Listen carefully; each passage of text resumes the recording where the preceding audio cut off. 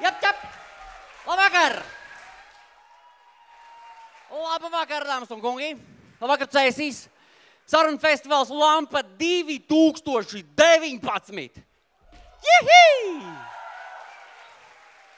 Cepiens 2019! Silties, silties, jums būs daudz jāpaplaudē. Jā, es atvainojos, es jūs neiepazīstināju ar Ievu. Uh, Ieva patulkos. Gadījumā, ja jūs nesadzirdat mani, kā var būt, tā var būt. Ieva, ja ir pātra kaut kādā brīdī, vienkārši saki, man nav ne jausmas, cik ātri var parādīt to, ko tu rādi, vai nevar parādīt, vai kādā ziņā tas ir. Jo es, es jebkurā gadījumā centīšos nepārēt kaut kādās transcendencēs un metafāzēs un vēl kaut kādos vārdos, kuros pašam man nav ne jausmas. Sorry!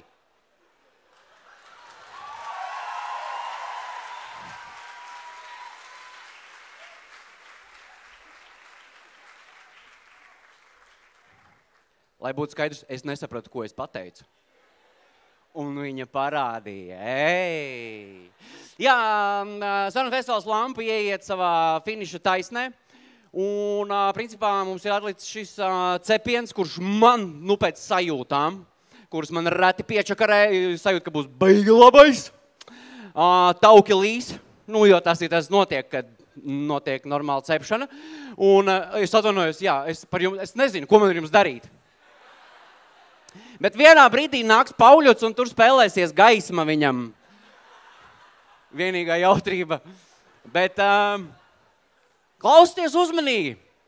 Uh, jā, var teikt, kurš palika? Uh, jā, mēs domājam, mēs finišu taisnē, mēs esam iegājuši finišu taisnē, cepiens mums palicis, un pēc tam, uh, cik es zinu, kolosāls uh, pārsteiguma koncerts, kas būs īs, īs, īs pēc uh, uzreiz uh, cepiena. Bet tagad Ņemot vērā, ka festivāls lampa lēnām sāk izskanēt, es gribētu uzaicināt uz skatuves festivāla veidotājus un dot jums, cienījamie festivāla apmeklētāji, kolosālu iespēju viņiem labi uzplaudēt un pateikt paldies! Tāpēc ar aplausiem!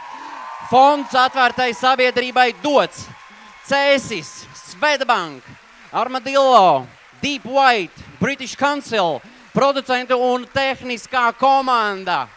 Lūk, viņi visi uz skatuves, un viņi visi ir pelnījuši grandiozākos, grandiozākos aplausus.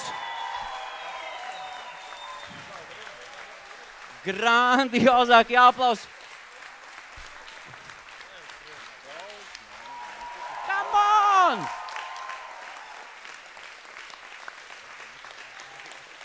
Un mums vēl arī ir kas sakām šeit, lūdzu. Šis bija spožs sarunu festivāls Lampa. Milzīgs paldies ikvienam, kas tam deva savu rokas, prātu un sirdi. Paldies jums!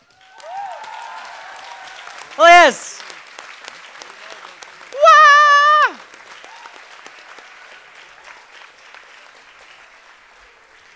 Come on, šis ir bezmaksas festivāls, mums tikai jāaplaudē.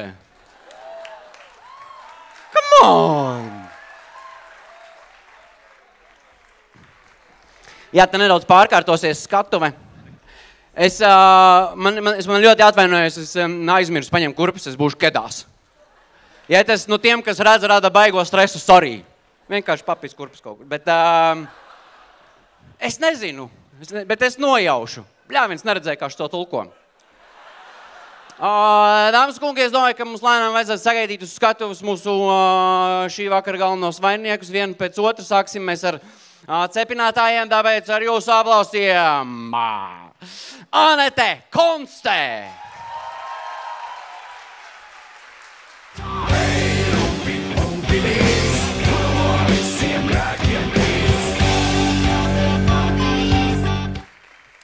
Edgars Bāliņš!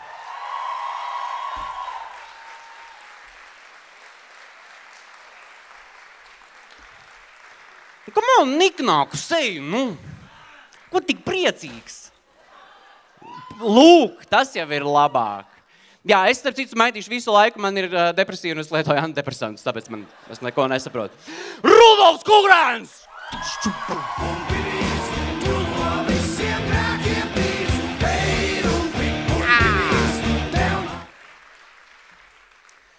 Un, kas saka, pavāru cehs mums ir uz vietas, bet mums vajag izēvielu cepināšanai, tāpēc ar tikpat vētrainiem, ja ne pat vēl vētrainākiem aplausiem mūsu cepināmie. Dāna Reizniece Ozola, ZZS!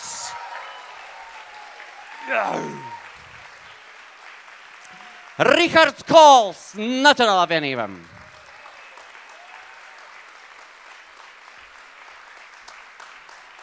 Evija Papulē, saskaņa. Vecā saskaņa. Jā, jā, jā. jā, jā, jā. Un Daniels Pāvļots attīstībai par.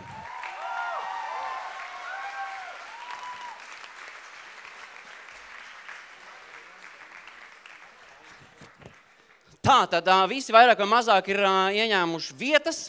Un es domāju, ka mēs gandrīz jau varētu arī, varētu arī sākt un ķerties cepināšanai klāt. Bet dažas lietas, ko es gribēju jums ātrumā, ātrumā izstāstīt. Pirmkārt, ārkārtīgi priecīgs būt cēsīs. Cēsis ir kolosāla vieta. Kolosāla vieta.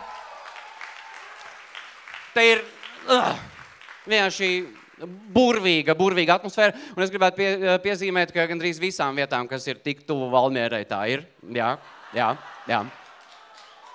Come on! Šis cepiens! Mierīgi!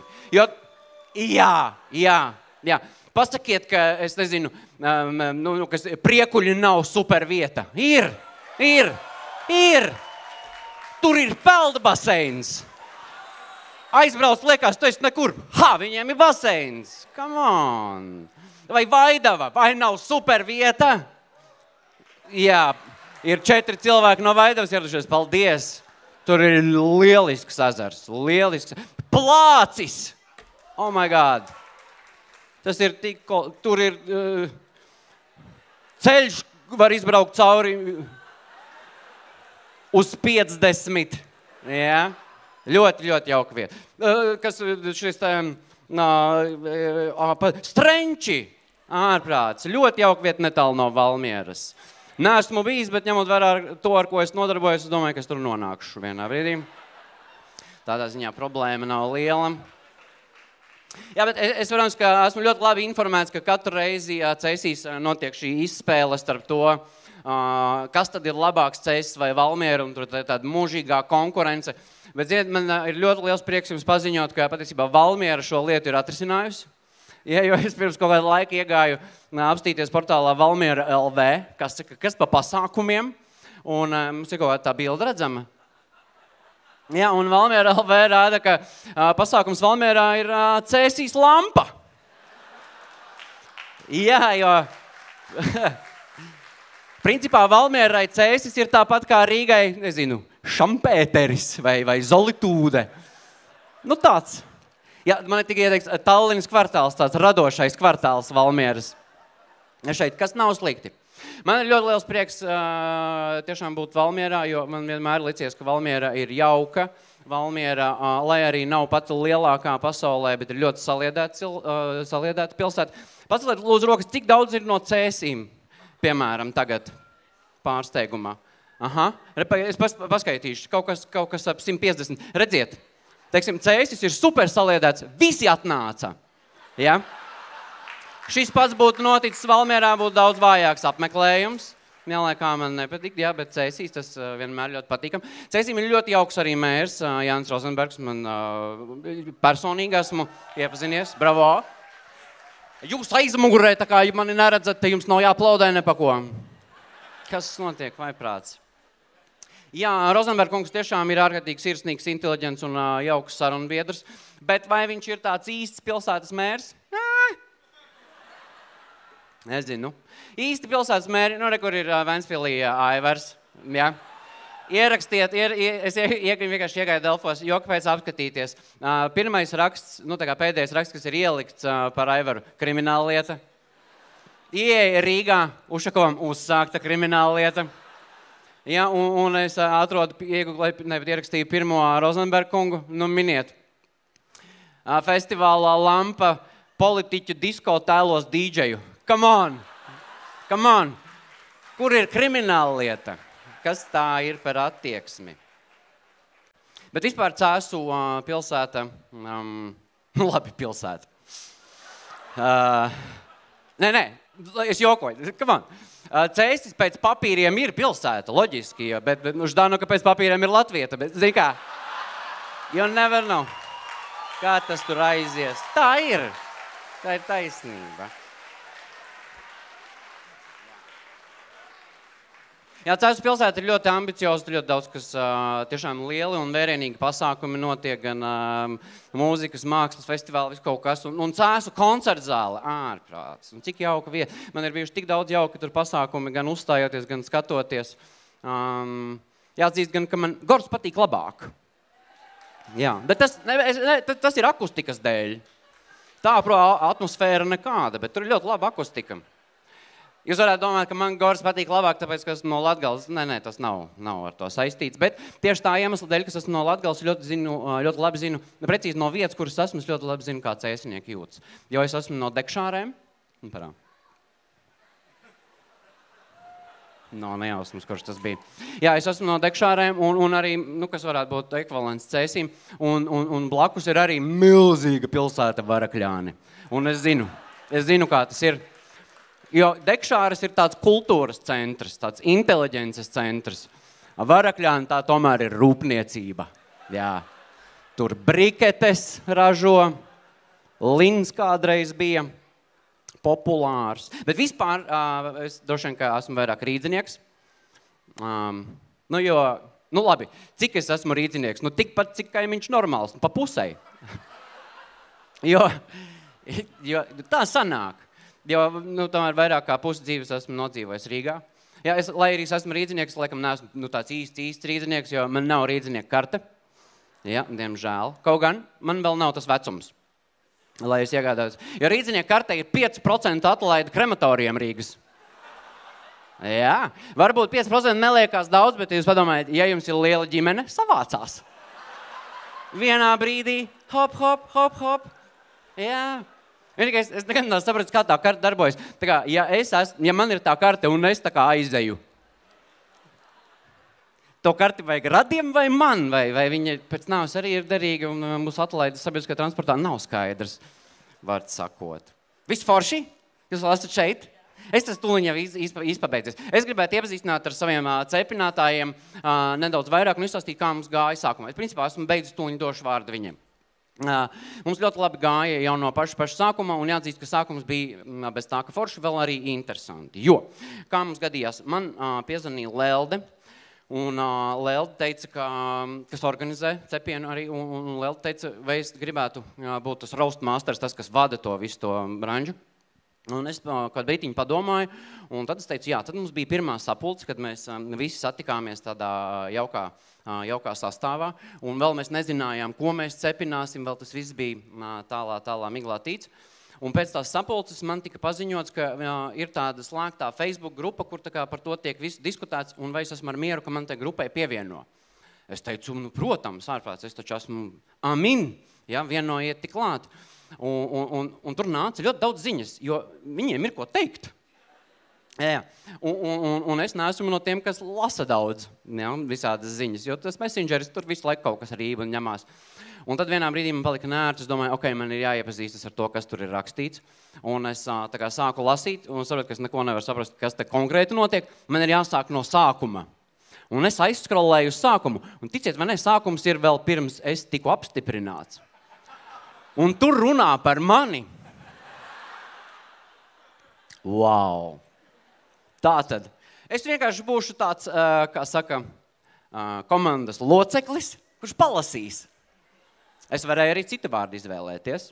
Um, tā tad Lelde saka, piedāvājums šobrīd vēl joprojām ir skuteļa lauciņā, vai viņš pats grib piedalīties. Tā tad vēl nav nolemts.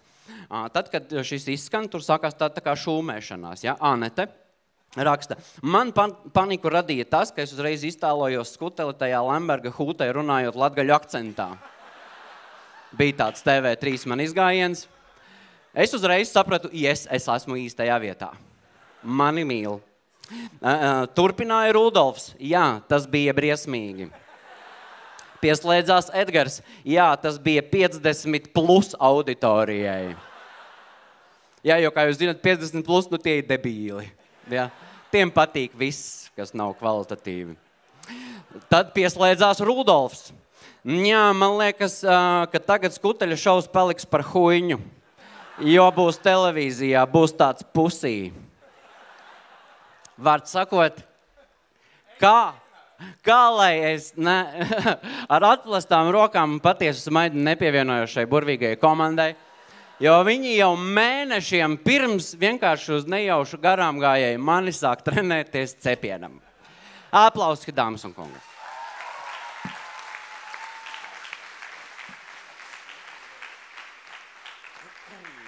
Okay, es domāju, ka mēs vairāk vai mazāk esam gatavi sākt. Jūs esat gatavi sākt? Jūs esat gatavi sākt? Jūs esat gatavi sākt, cienījamie skatītāji? Es uz jums skatīšos ik pa brīdim. Okay, pirmais, pirmais cepināmais, ko es gribētu, ar, ar ko es gribētu iesākt, tā ir Dana Reizniece Ozola. Jā, jā, jā, jā, jā, jā, jā. absolūti talantīga, drosmīga, ko pierāda tas, ka viņš šovakar ir šeit. Sevi pierādījusi zinoša politiķa, kas, es domāju, ka ļoti daudziem paliks atmiņā ar, ar viņas laiku finanšu ministrijā. It īpaši ņemot vērā, ka mēs esam gandrīz vai ielenkti no NVO pārstāvjiem, kas ir nevalstiskās organizācijas. Jā, tajā grupā Danai ir ļoti liels atbalsts.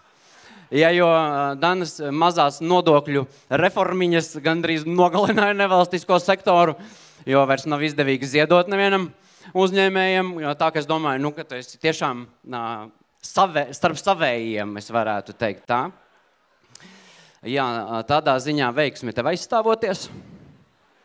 Ko nu daudz, ko nu daudz. Jā, principā tu varētu būt līdzīgās runājot tā kā aita. Vilku barā. Jā, ienākusi un, un, un, un cerams, ka vilki būs gan labēlīgi, bet uh, sāksim mēs šo cepināšanu un uzzināsim daudz un jaunu un interesantu ar Aneti. Ar Aneti. Labvakar! Pirmkārt, paldies mūsu menedžerai Lēldē, kur pievienoja Jāni tam čatam, zinot, ko mēs tur runājam. Bet Dana ir sieviešu šaha lielmeistare, četru bērnu māte. 33 gadu vecumā kļuva par ekonomikas ministri, nodarbojas ar jogu un riteņbraukšanu. Un principā, man liekas, mēs redzam, kas notiek ar spēles gudrs, vēl gudrāks dalībnieks, kad viņš izaug liels. Viņš ir šeit. Jūs zināt tos bērnus, kas nodarbojas ar šķērsmešanu, ar basketbolu, raksta skolas avīzē, ir klases vecākie un brīvajā laikā iet uz pansionātu un lasa veciem cilvēkiem priekšā grāmatas un staidzina suņus. Viņi izaug un viņi ir kļūst par danu. Tā kā man nebija viegls uzdevums, bet gudrs vēl gudrāks dalībniekiem ir viena vājā vieta. Viņi parasti nezina to, ko zina viņu vienaudži. Viņiem nav tam laika. Uh, Un, uh, parasti tajā raidījumā viņi nezina uh, populārās dziesmas, viņiem tur liek kaut ko no Radio 5, un viņi skatās, tā, kas tas ir. Es, es nezinu. Un, uh, tā arī Danā ir kaut kādā mērā vājās vietas, jo tad, kad viņi ar ZZS sāka startēt Eiropas parlamentu vēlēšanās, viņi saprata, ka tas nav tik vienkārši kā pašvaldību vēlēšanās, tur uztaisīt kaut kādu vidas reklāmu un uh, maucu. Uh, ka tur jāiet tajos sociālajos tīklos, kaut kāds tur jāuzrunā tāda smalkāka auditorija. Un, uh, Nu, es pieņemu, ka tur Augusts Brigmans jau tur saķēra galvu, tur līda kasa jūsas, un uh, Dana teica, es ņemšu tos sevi. Un, uh, Tad tur parādījās tāda interesanta video, kur viņi mācīja, piemēram, uh, kā izaudzēt sīpolu lokus mājās. Es domāju, ka jūs visus nomok šis jautājums, un beidzot Dana to atklāja, ka jāieliek sīpols glazē un jāgaida, kad izaugs šie loki. Un, un tad viņi centās būt arī filozofiski, lūdzu bildi Lūk, šeit mēs redzam tādu nezāli, kas izspraukusies no bruģa, bet jums tā izskatās pēc nezāles, bet Danai tā neizskatās pēc nezāles, jo viņi raksta, tie, tiem, kas neredz, nezāles augušas, nu tikpat labi tā simbolizē spēku, kas ļauj paveikt šķietami neiespējamo. Tā kā tiešām iespaidīgi. Un tad es atradu Danas YouTube video, kas tiešām, lūdzu, video, tur man nu, nav pat pieteikuma. Lūk, šāds video. Ļoti filozofisks. Pieci skatījumi.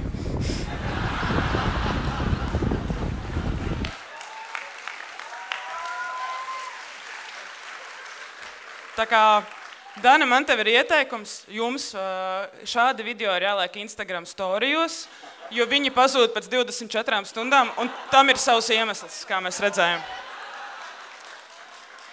Bet uh, to visu redzot, uh, es dzirdēju, ka jūs neatbalstāt marihuānas legalizāciju. Man jautājums, kāpēc? Jo izskatās, ka jūs esat uh, auditorija šim.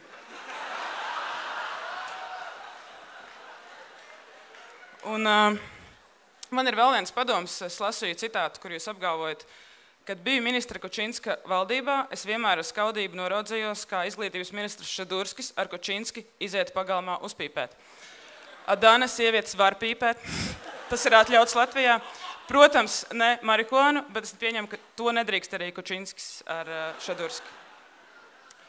Bet uh, Danas biogrāfijā ir atrodami vēl daži nestandarta gājieni. Uh, piemēram, kamēr visi domāja, uh, kādas vēl grāmatas par simts lietām Latvijā sarakstīt uz simtgadi vai atrast vēl kaut kādas simts lietas. Dana piegāja inovatīvāk un nolēma Latvijai uzdāvināt nodokļu reformu. Un viņai pievienojās labprāt arī Raimons Pauls, kurš uzdāvināja 14,000 savu nodokļu parādu. Un arī puse Latvijas, kuriem tika konstatēta nodokļu parādu, pievienojās šai dāvanai. Bet, uh,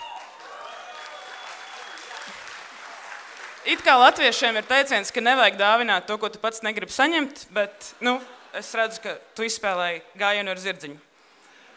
Un, uh, tad bija vēl viens nestardams gājiens. Uh, Dana virzīja vid, vadītājai Ingu Koļogovu apmēram pirms gada, kurai pašai tika konstatēts nelikumības vidu deklarācijās. Un man tas liekas ļoti inovatīvi, jo tā kā, tālredzīgi, jo par psihoterapeitiem parasti kļūst cilvēki, kuriem pašiem ir problēmas.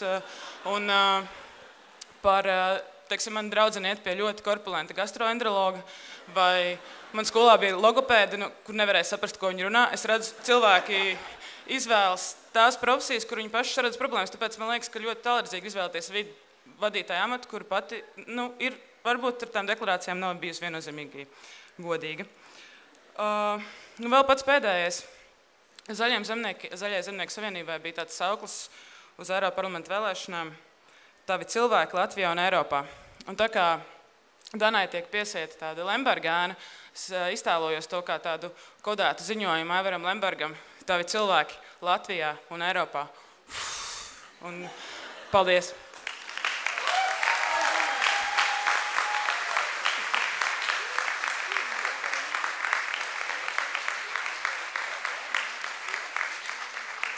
Dana, jūs vēl turaties, jā? Ja? Viss kārtībā. Viss kārtībā. Jā, jā, vēl brīvi. Rudolfs Kugrāns turpinās.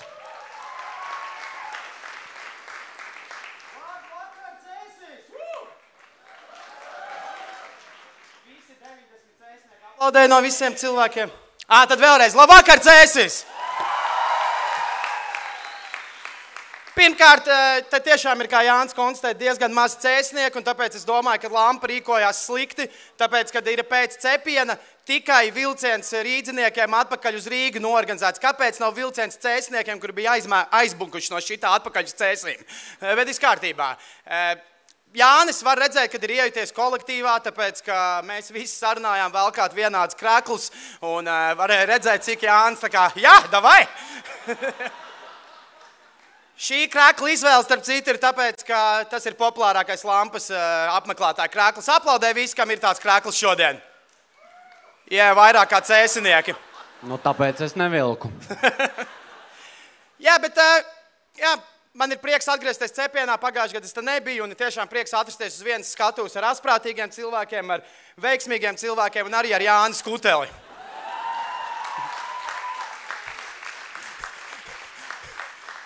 Tad, kad sākumā nomainījās surdo tulkotājs, cerēju, ka arī Jāni nomainīs.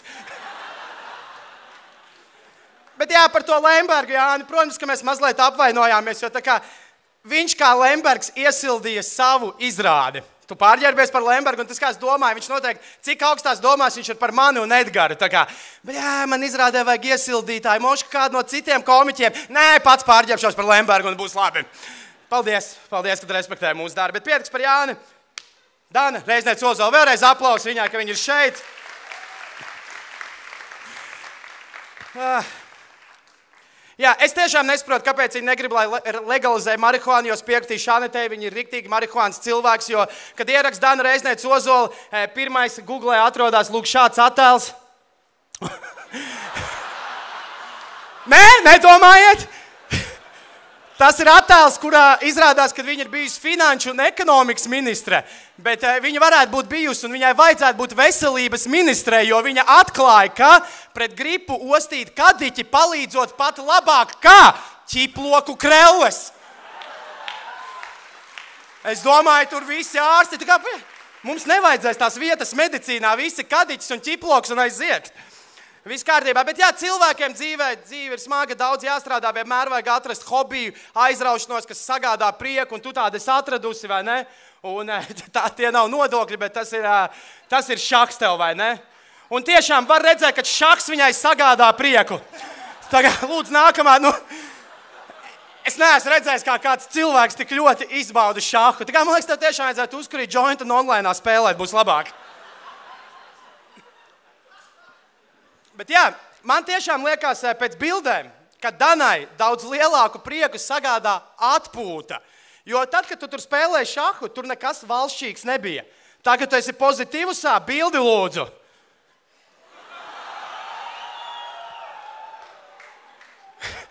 Tu...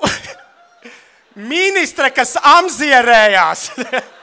Man ļoti patīk, kad arī vīrs skatās, ai, mūsu focē uzlikšu tev roku uz dibenu. Un kas man patīk, ka Dana nav tā, ka tikai vīrs man drīkstēs likt roku uz dibenu, vai ne? Visi rekur aiz, aizliegtajā paņēmienā izlaušanās spēle Latvija. Dana kāp tā kā Gundars daudz prasa, es tev palīdzēšu, jā, liec rokas dibenā, aiziet. Visticamāk, tie pieci cilvēki, kas bija noskatījušies to video, ir tie pieci, kas tajā nedēļā bija uzrakuši viņai roku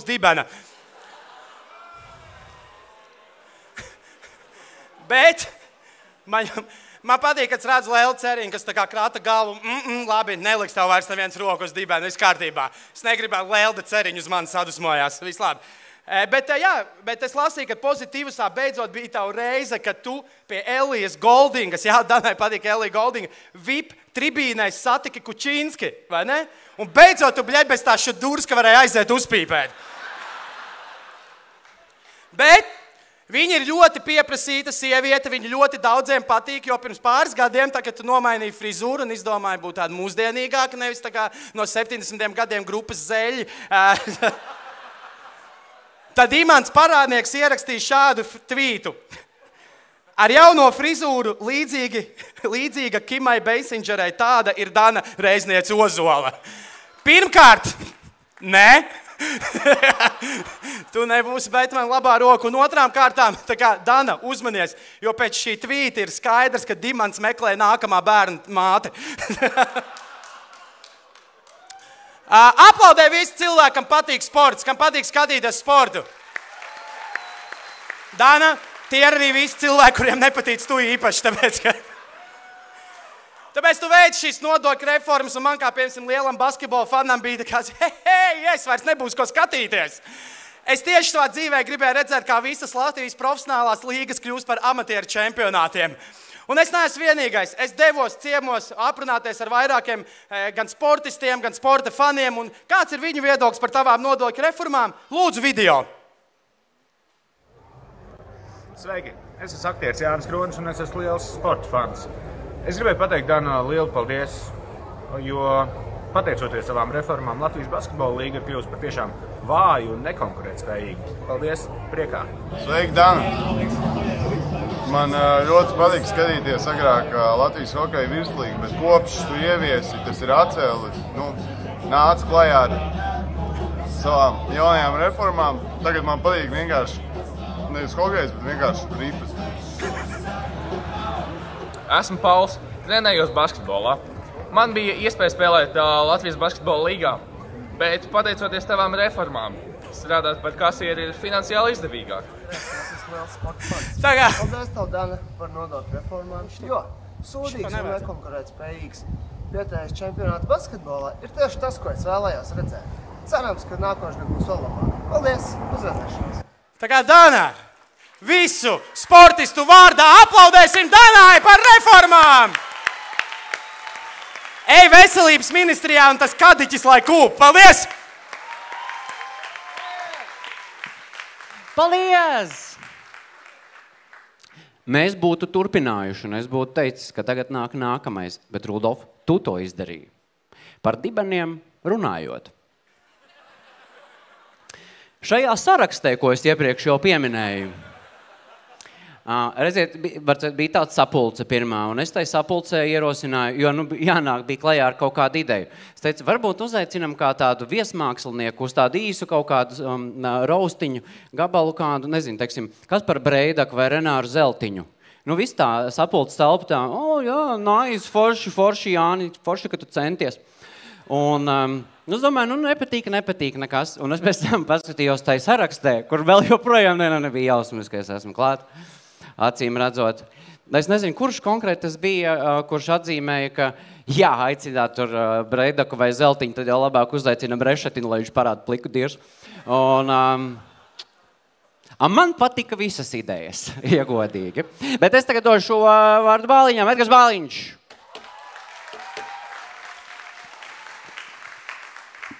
Hei, hei, hei. Uh, čau, Cēsis. Uh, prieks, prieks, ka šeit visi ir sapulcējušies uh, lampā, cēsīs. Wow, forši! Es iedomājos, ja nu, visi uzskata, ka tagad uz cēsīm ir atbraukusi visa inteliģence, vai ne? Ja nu viens, kas tikmēr notiek Rīgā? Visi skraida plikām vafelēm pa pilsētu, ēd puņķus, kaņepē izvilkt steļuks, skatās futbolu. Yeah. Tas tā kā, kad senči aizbrauc uz laukiem, uzreiz, yeah! Vai ziet? Un uh, aplausiem četriem brīnišķīgiem politiķiem. Es domāju, es domāju, ko man viņi atgādina. Divi džeki, uh, divas dāmas, tad tā kā latvieši neizdevusies abas versija. Aeolika arī labs variants, jā. Dāna. Dana ir malacis. Viņa, viņa, viņa lieto Twitteri. Kas interesanti, pēdējais viņas tvīts ir tieši dienā pirms vēlēšanām. Pēc tam nav vajadzīgs. Priekš kam? Tas tā kā, tas tā kā tie džeki, kas dāvina puķis randiņos tikai līdz dabū pārgulēt, vai ne? Vai dabū atraidījumu, kā zaļie un zemnieki šajās vēlēšanās?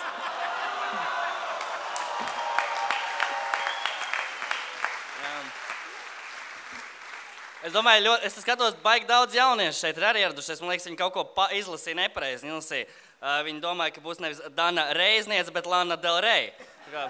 Es viņu saprotu. Uh, izlasīju vienu interesantu citātu pie vienas uh, Facebook bildes tavas. Tur bija rakstīts tā.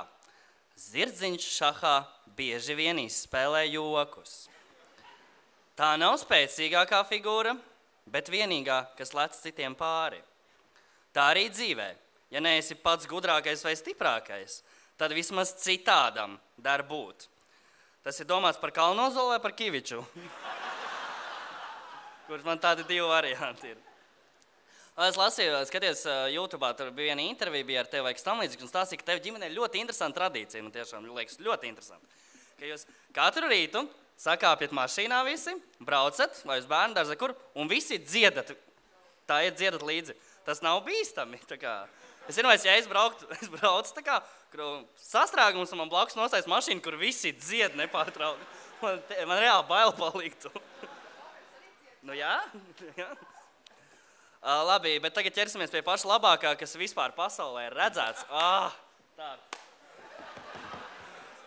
Danai ir YouTube kanāls.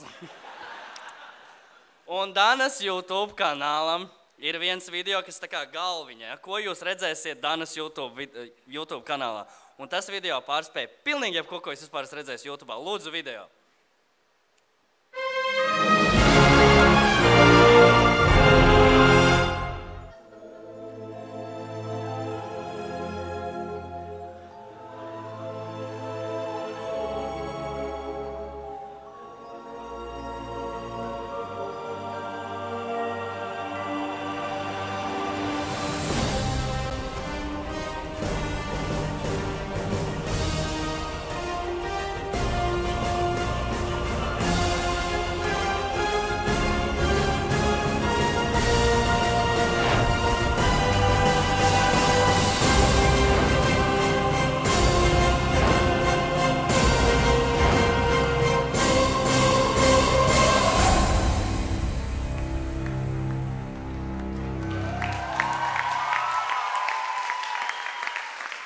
Un to tu pati esi ielikusi. Es noskatījos, tas traileris, man liekas, visas troņu spēles arī tā kā projām. Noskatījos to traileru, domāju, kas tur būs. Tur kaut kādas fights ģimenē, viss kārtībā. Ja nē, tur ir video, kā iestādīt simbols. Come on. Tā nevar. Labi, un nobeigšu. Es noskatīsimies arī to leģendāro video, par kuru jau Rudolfs arī runāja par to, par to kādu noskatīsimies viņu pilnā, pilnā apmērā, lūdzu. Kā ir jārastējas no gripas? Vai pareizāk sakot, jāpasargā sevi no gripas? Kadiķis? Dūmi? Op, op, op. Nē, nav pārāk liels uguns. Un? Elpoja. Oh,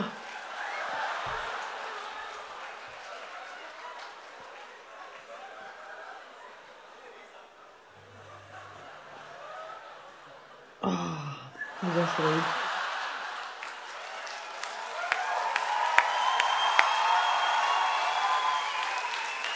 Um,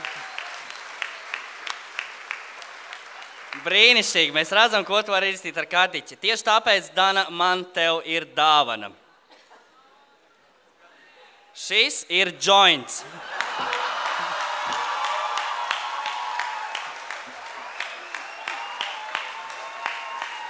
Pamēģini, nu šitās sajūtas ir labākas. Varēs beidzot ir ar džekiem iet uzpīpēt. Paldies!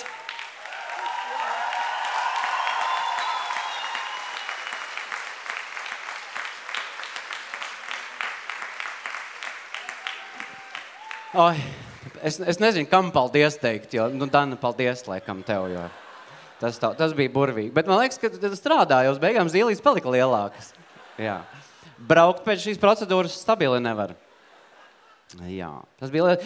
Uh, un te ir lieliskā iespēja uh, atbildēt. Lieliskā iespēja atbildēt Dana Reizniec Ozoldāms kungam.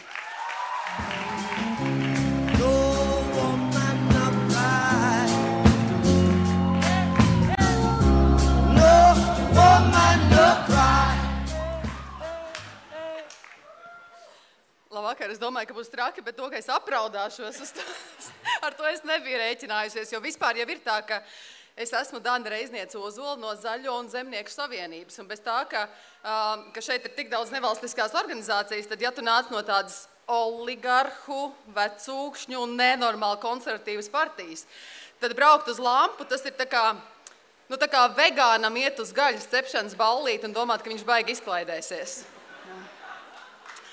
Te, um,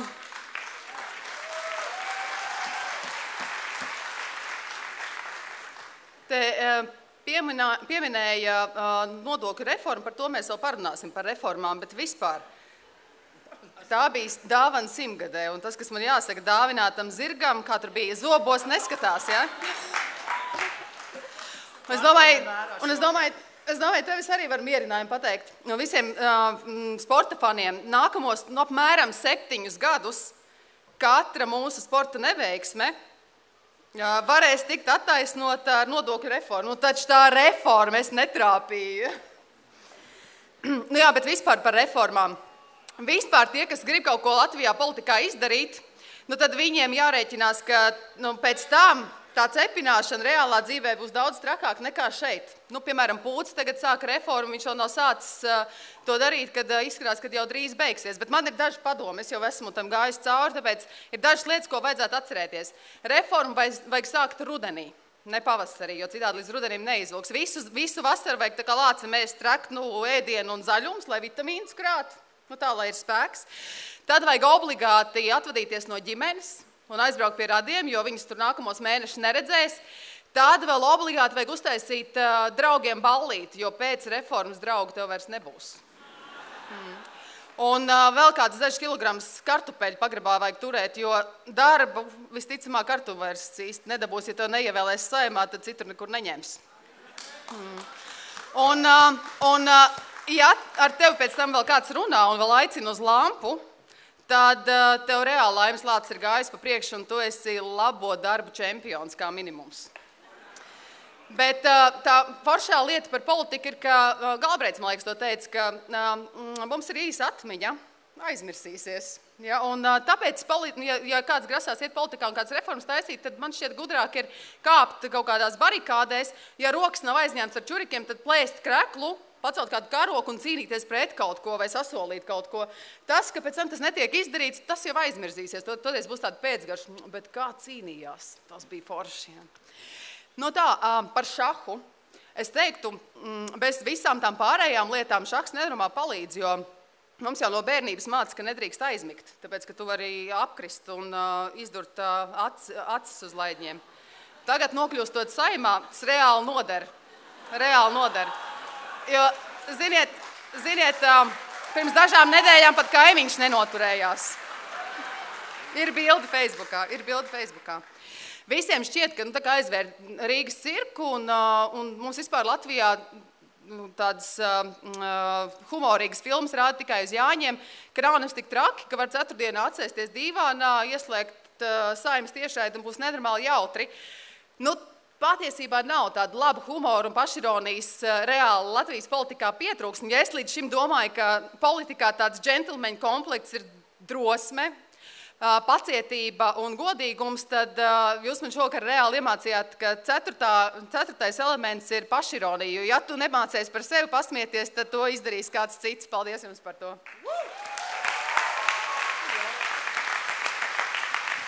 Paldies, Dan!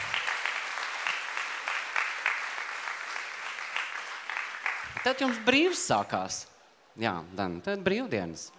Tad vienkārši varēsiet izņemt pārējos. Tā ir laba sajūta. Mēs turpināsim ar uh, Rihardu Kolu no Nacionālās apvienības. Uh, ko es varu uh, par um, Kolkungu pateikt, ka Kolkungs ir turīgs cilvēks, ja? ja otrajā paudzē, nu tā ziņā, ka tētis turīgs, bet vienalga, ja? neskaitīsim, tā ka sīceni nezaks, nu pie stresa. Un, uh, bet viena lieta, par ko uh, skatoties uz to jūsu darbošanos, ko es gribēju tiešām pateikt paldies, mm, par ko es ļoti pateicīgs par uh, to jūsu uzsākto projektu, ko jūs arī novedāt līdz galam, proti uh, Latvijas karoga uzstādīšanu uz AB Dambja. Tagad uh, stāvēšana sastrēgumos uz Vanša tilta ir viens no tādiem patriotiskākajiem brīžiem. Nu, protams, ja vējš nav tāds, kad noņem nost, tad vienkārši tur tāds objekts uh, uh, stāv. Bet kas man likās ārkārtīgi amizanti, ka tas ir tāds jūsu izlolots projekts, tāds jūsu, tā kā saka, izlolots tā kā tāds bērniņš jūsu, ko jūs uzdāvinājāt mūsu valstī, un tik līdz uzdāvinājāt, uzdāvinājāt atdevāt apsainiekot Rīgas domēji. Tas likās ļoti specifiski, zin kā, ka tu ilgi, ilgi gaidi, kad tev beidzot piedzims bērns, un tad tu viņu atdod pieskatīt Maiklam Džeksonam. Un, um, Nē, bet tas ir arī, bet kas interesanti, tas ir arī nu, drusku pret, tā kā iet arī pret Nacionālās apvienības to, to ideju, jo es atceros, ka Raifs Dzinters bija ļoti pikts, nu, kad mēs atdevām Aberni apskatīt, ne, bet pieskatīt Krievijai. Viņš bija, jā, tā ka jums ir drusku uh, savs ceļš, uh, laikam, ieplānots šajā visā, bet uh, ko par jums uh, var pateikt mūsu cienījumie cepinātāji, to mēs uzzināsim tagad un sāksim mēs ar Rudolfu Kugrānu.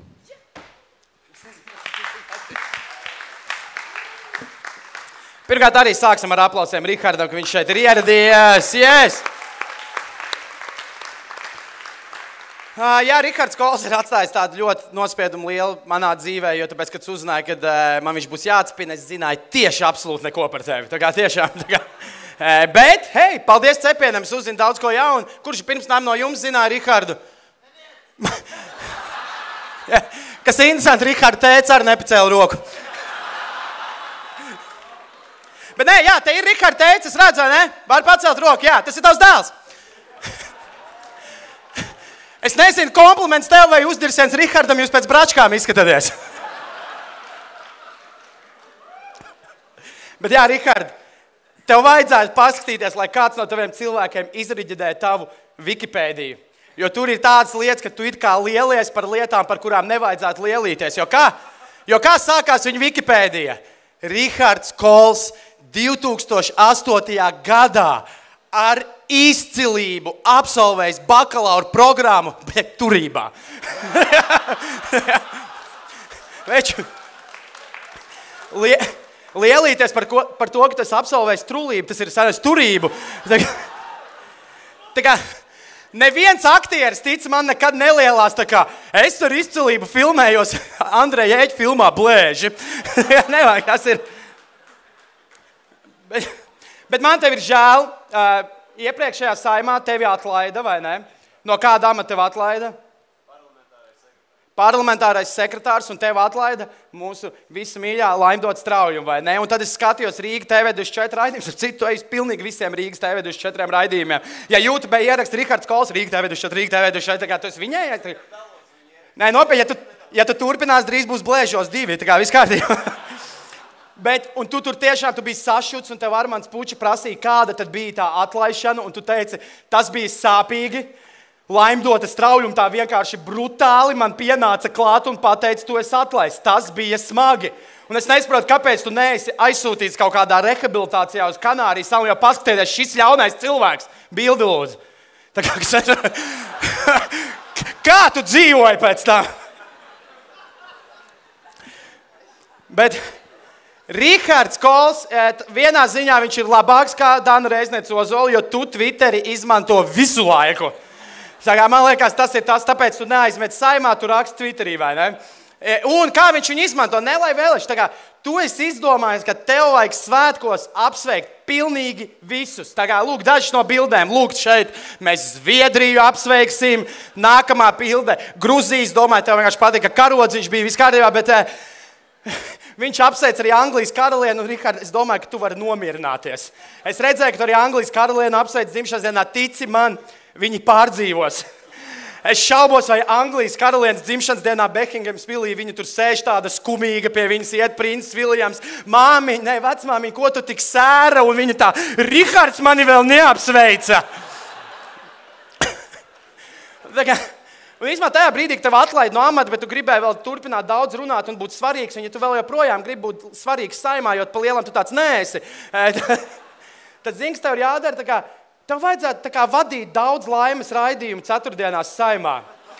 Tā kā vienkārši daudz, iedomājieties, kā sākās saima pirms visiem nopietniem lēmumiem. Tagad uz tribīnes aicināsim saimas daudz laimes vadītāju Rihārdu.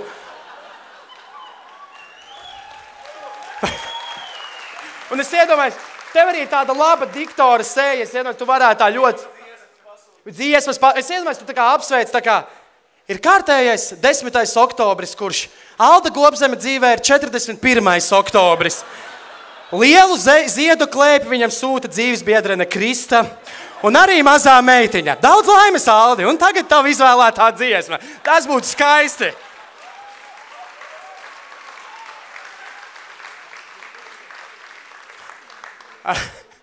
Bet jā, man liekas, ka tu esi nonācis tādā supervaroņu partijā. Nacionāla apvienība ir supervaroņu partija. Tā kā es tiešām man patīk supervaroņu filmas, un man liekas, es skatos uz katru no jums partijā, uz katru vīriešu. Tur var redzēt supervaroni. Piemēram, Imants parādnieks stabili ir dzels vīrs, tā kā visas dāmas manējās. Viņš zina viena pa otru, viņš tāpat nāk, un viņš tāds līderis, zirgā vai ne. Ir tā kā Dombrava vai ne? Dombrava ir Halks, zinām, Halku vai ne? Tāds ļoti spēcīgs cīnās, bet dumšs vai ne? Kā...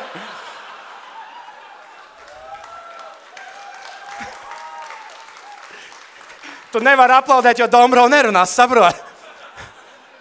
Un tad es domāju, kas tu esi par supervaroni? Es sapratu, jā, tu esi Batmans. Tev nav neviena superspēja, a zato bagāts sensis. Paldies!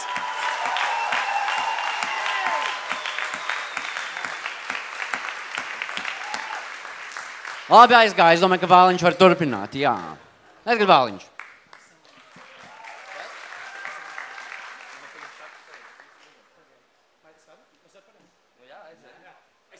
Es atvainojos, es aizmirsu ļoti svarīgu lietu. Tajā brīdī, kad man likās, ka tev nav superspējas, tu māki taisīt interesants un aizraujošs video.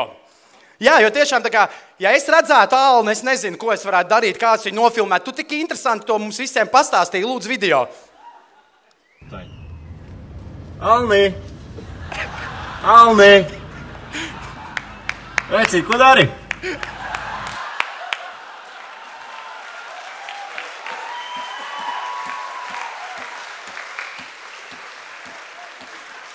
Super! Labi, turpināsim arī. Nu, Rihards sveiks un vispārējās lietas. Uh, turpināsim arī ar vienu foršu video. Es, starp citu, skatījos tavu interviju uh, vienu, vienu citu, par to pēc tam parunāsim, bet uh, pasīsimies vienu kadru no vienas intervijas TV24.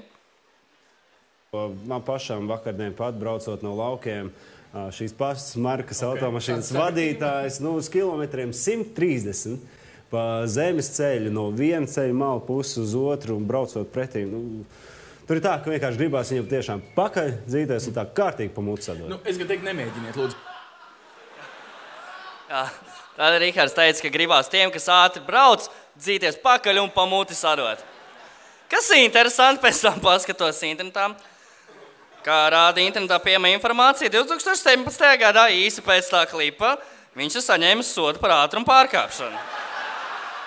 Rihards, kurš tad dabūja pamuti? Tev bija zilās. nu, skaidrs, skaidrs. Labi, Rihardam bija tas gods, starp citu, nolasīt, kurš būs prezidents. Tu, tev, bija, tev bija tas gods, tiešām, tam bija tik balss, tas bija tik balss, un Levits ir prezidents. Tev tas sanāca nevainojami, tiešām. Bez nevienas aizķeršanās, tiešām ideāls diktors kaut kādā ziņā. Un es domāju, tev vajadzētu apdomāt to amatu, jo kā politikā tev īpaši labi neiet, tevi neviens nezina. Kā diktori tevi zinātu visi. Tu varētu pēc tam, piemēram, skaitīt Eirovīzijā punktus paziņot. Jā, Latvijas bumbiņas katru vakaru. Uzreiz foršāk būtu. Un Rihards, tāpat kā Dana, ir youtuberis. Nu, jā, kā sapratām, bet kāds Rihards ir youtuberis? Wow, pasīt, pas, nāk, lūdzu, bildi. Jā, Sulim Eiropas planēta. Trīs skatījumi. Es atradu to video, ka tā trīs skatījumi. Tā tad uh, Rudolfs ar Anetu jau ir skatījušies.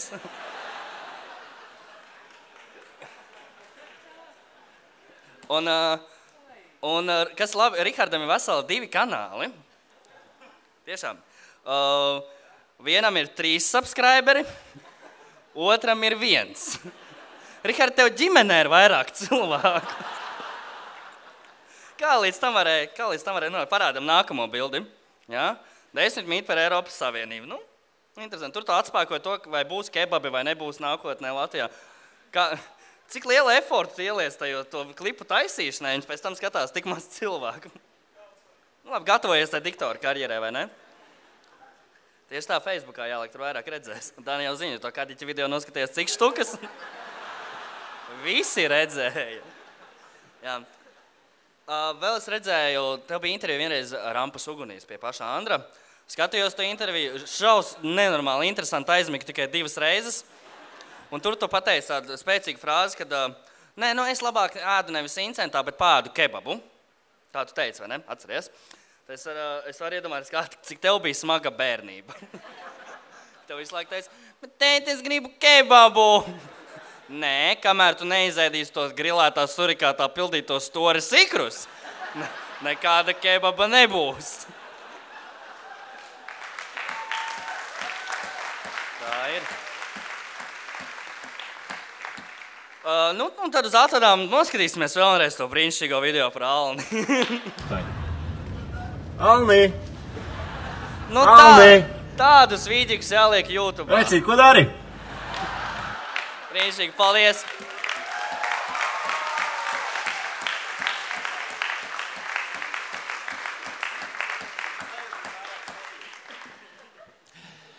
Oi, tas bija lieliski. Anete, konste.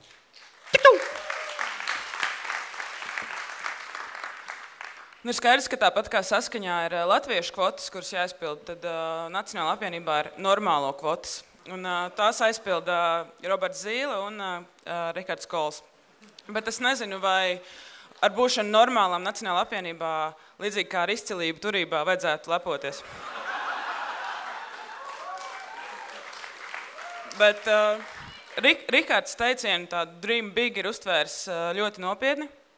Un, uh, Ja citi politiķi domā, politiķiem pēc, uh, ir svarīgi pēc sevis kaut ko atstāt. Un, uh, citi grib atstāt bibliotēku, koncertu zāli, bet nu, Rikards ir mazliet piecīgāks. Un, uh, Es domāju, ko es varētu atstāt tādu, kas būtu nu, lētāks, nevajag kaut kādu infrastruktūru, tur kaut ko tur sakārtot, kā kādas dāmas.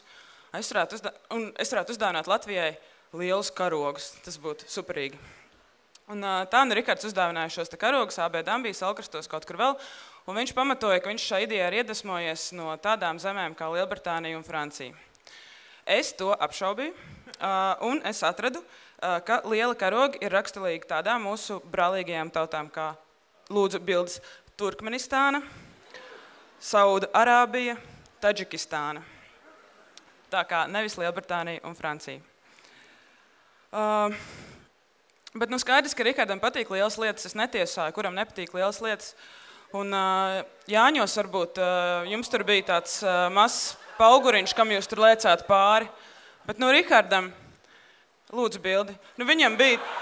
Viņam bija tiešām ugunsgrēks. Es teiktu, tur rīja deg, nevis tas ir ugunsgrēks. Nu, vai kaimiņi? Artusam? Haha. Bet, uh, uh, nu, bet līdzīgi kā man kolēģi jau teica, nekādu lielu materiālu pirms, par Rikārdu atrast nevarēja, bet tieši tāpat bija pirms diviem gadiem Rigoru Pimanovu, ka neko atrast nevarēja, bet pēc tam pēc cepiena viņš atrakojās, tur protestēja pret PSRS simbolu aizliegumu, tad tur iekļuva tajā Dream Team oligarhu izmeklēšanas komisijā. Tur, uh, un tad es skatījos uh, uz Rikārda bildēm, un jūs tur neskatāt kaut ko līdzīgu. Lūdzu, bildes. Kaut ko līdzīgu kādam jau zināmam politiķim. Tur ir kaut kāda līdzīga. Nākamo lūdzu. Viņi ir bračkas kugrāns. Lūk, arī šeit atpūtas brīdī.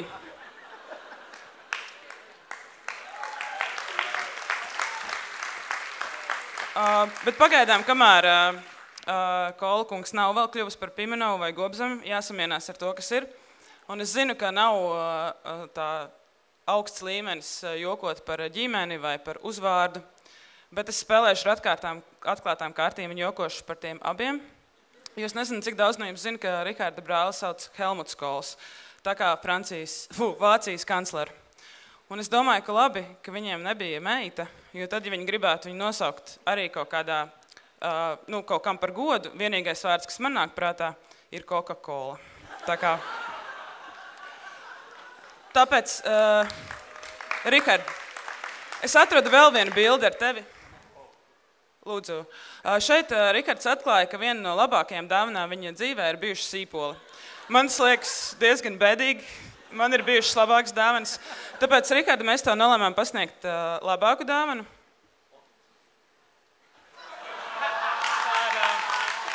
Rikārda, kola, kola. Bet, uh, kamēr Rikārds saņem dāvanu, varbūt vēlreiz noskatīsimies to video rālni. Alni! Alni! Vecī, ko dari?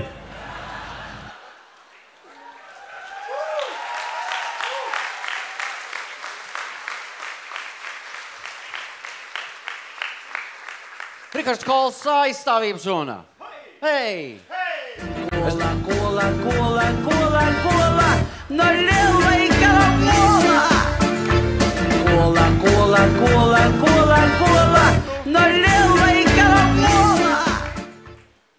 Bravo! Labvakar, cēsis! Hei! Pirmkārt, paldies organizatoriem par vispār festivālu organizēšanu. Otkārt, paldies komiķiem par grilēšanu, par cepināšanu. Un kā jau pēc kārtīgas cepināšanas, nu, pamatīgi kaltē. Un šeit jau iedarās tas nu, galīgi jau nodrāstais teiciens. No sākuma ir jāieroj. Tad, nu, tad man ir jautājums. Kurš, kuram no jums ir rums? Pacēl roku, kam ir rums? Viens te ir, te ir. Kur vēl? Tur. Ok, lieliski. Es vēlāk piekāpšu un varēsim nomalkot kopā ar rumu ar kolu. Ja? Starp citu, starp citu, mīliet, mīliet un vēlreiz mīliet kolu. Jo drīz kola, pateicoties alkohola akcīzei, būs dārgāka par rumu.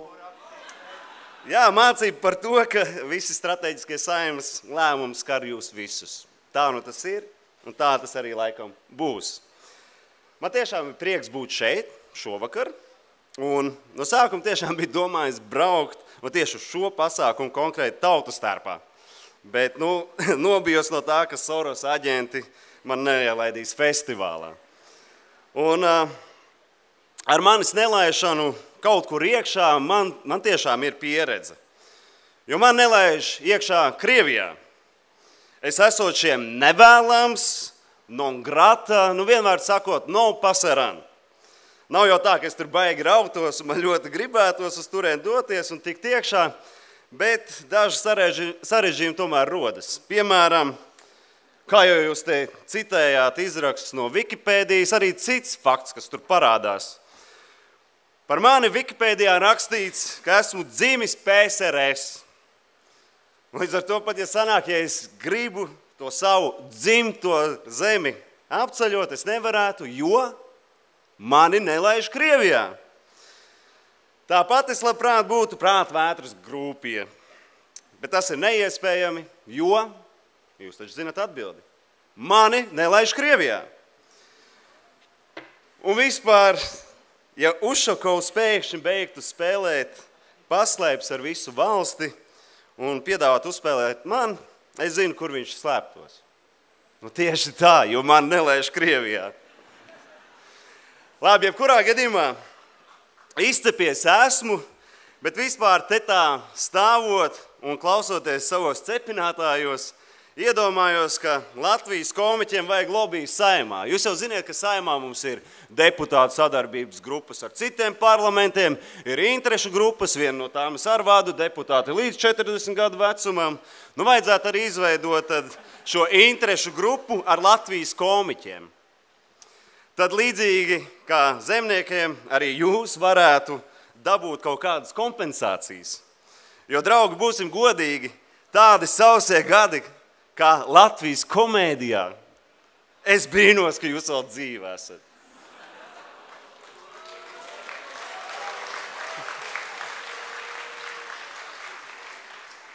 Ja godīgi, vispār dzirdēt smieklīgas uzstāšanās no tribīnas ir mans ikdienas darbs. Tādā ziņā šodien vismaz man ir brīvdiena.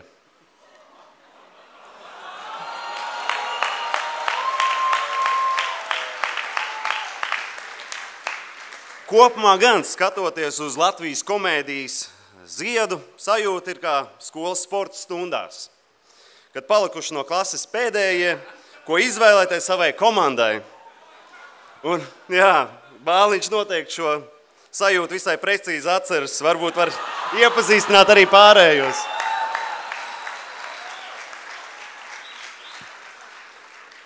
Tas, ka es Rudolfam nepatikšu, man jau uzreiz bija skaidrs. Kā nekā mans partijas biedrs vēlējās Rudolfam atņemt viņa dienascho maizi. Tas ir kebabu. Rudolf, vecīt, tas, tas taču nebija es čil. Un, ja kas mēs šodien arī festivālā noskaidrojam, ka kebabs var būt latvisks. Taču viss kārtībā. Savukārt Anete Konste ir mūsdienu aspazija. Jauna, skaista un pie sāniem ģēnijs Jonevs. Vienīgi aspazijai bija frizūra un humora izjūta.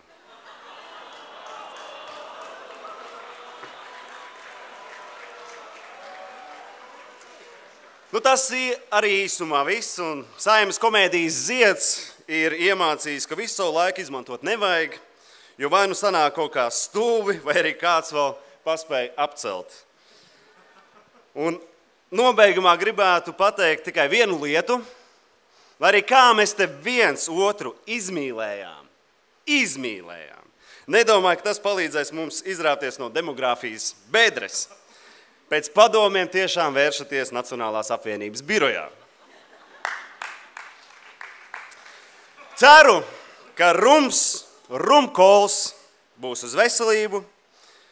Katrā ziņā neliekam ne punktu, neliekam ne komatu, liekam semikolu, jo šis viss bija ļoti labs prikols!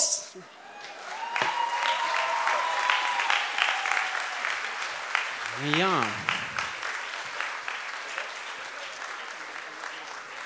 Paldies, Kolkungs, paldies par labiem vārdiem. Latvijas komēdijai. Es gan nezinu, kā demografisko situāciju būtu palīdzējis risināt tas, ka jūs būtu atnācis tautas starpā. Un, ā, un vēl es jums gribu pateikt, ka ā, ļoti labi man patika, ka jūs ā, raustojat arī komiķus.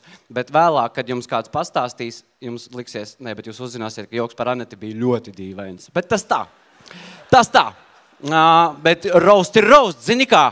Kā mēs latgalē sakam, shit happens, un tāpēc iesim uz priekšu. Um, jā, latgalē angļu valoda ir baigi jaudīgā. Fuck all! Kas tagad tālāk? Um, tātad, um, ah, jā, jā, jā, šis ir tas brīdis, ko es ļoti gaidu. Es gribētu pieteikt nākamo, nā- nākamo cepināmo, un tā ir saskaņas pārstāve ā, Evija Papule. Un ā, ā, par Eviju man, man ir jāsaka tā, ka mm, es arī speciāli šim pasākumam vairāk iepazinos ar jūsu daļradi, jo kā, es no tumšajām mākslām, citām citiem vārdiem sakot, politikas turos tā ar distanci. Un, un man tiešām bija ļoti līdzjūtīgs. Es skatījos to burvīgs raidījums. Es domāju, ka es ļoti ceru, ka visi viņu redzēja. Tas um, aizliegtā paņēmiena izlaušanās politiķu. Redzējāt? Jā, jā, jā, jā.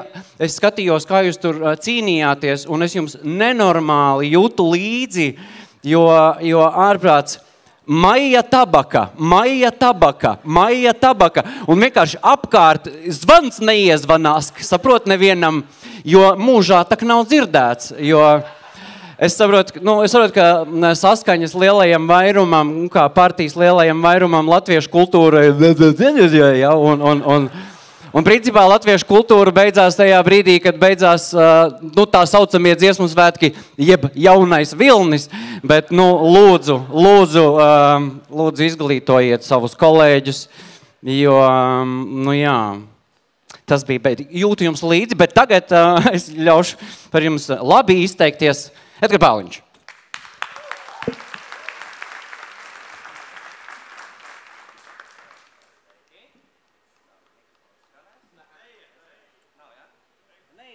Uh, jā, jā. Uzreiz atvainojos par visu, ko es runāšu. Bet tas nekas. Uh, tā tad sāksim. Atceramies, pirms pāris gadiem saskaņa mums atsūtīja Igor Pimenovu. Nu, čalis, nu garlaicīgākais čalis ever, vai ne? Likās, nu sliktāk jau vairs nav kur, vai ne? Kā, ko saskaņa patur Eliņēģu? Lūdzu! Lūdzu, Evija! Nu, tā ka nu, nu, grūti meklēt, grūti kur piekasīties tik ideāls politiķis, to es gribēju teikt. Uh, prieks redzēt, kad, uh, ka Laimdots straujumas uh, frizierim un stilistam joprojām ir darbs.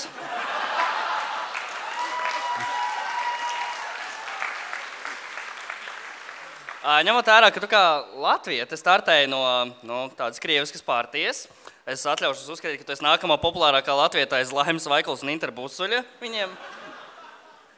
Uh, es uh, dzirdēju nesen tādu, skatoties intervijas vai tādus uh, YouTube klipiņus bez āļņa, bet tādus, kur, kur bija ar tevi. Tur uh, es dzirdēju tādu interesantu frāzi, ka tevi mēdz dēvēt par šadurski brunčos. Ja? Šadurski vjupke. Ja? Tad uh, sanāk, ka mēs turpmāk šadurski varam saukt par papuli biksēs. Ja?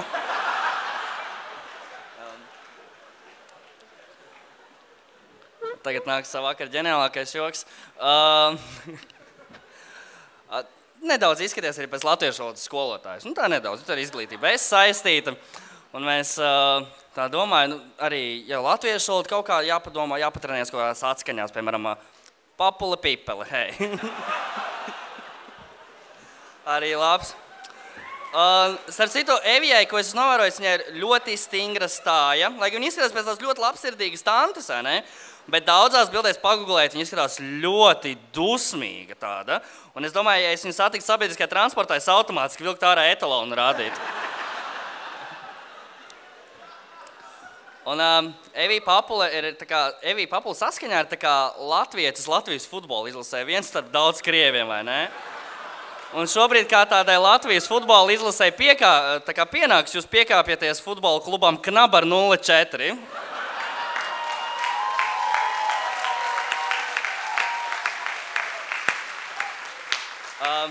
Kas ir interesanti, 15. gadā uh, saskaņa kritizēja projektu skolas LV.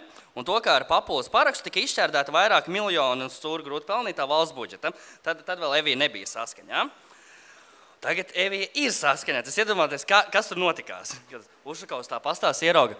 Tā, viņa prot izšķērdēt 3 miljonus. Es nezinu, kas viņa ir, bet mums viņu vajag.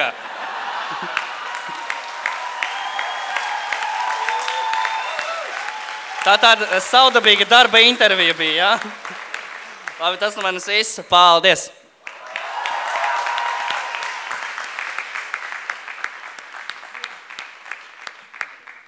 Anete.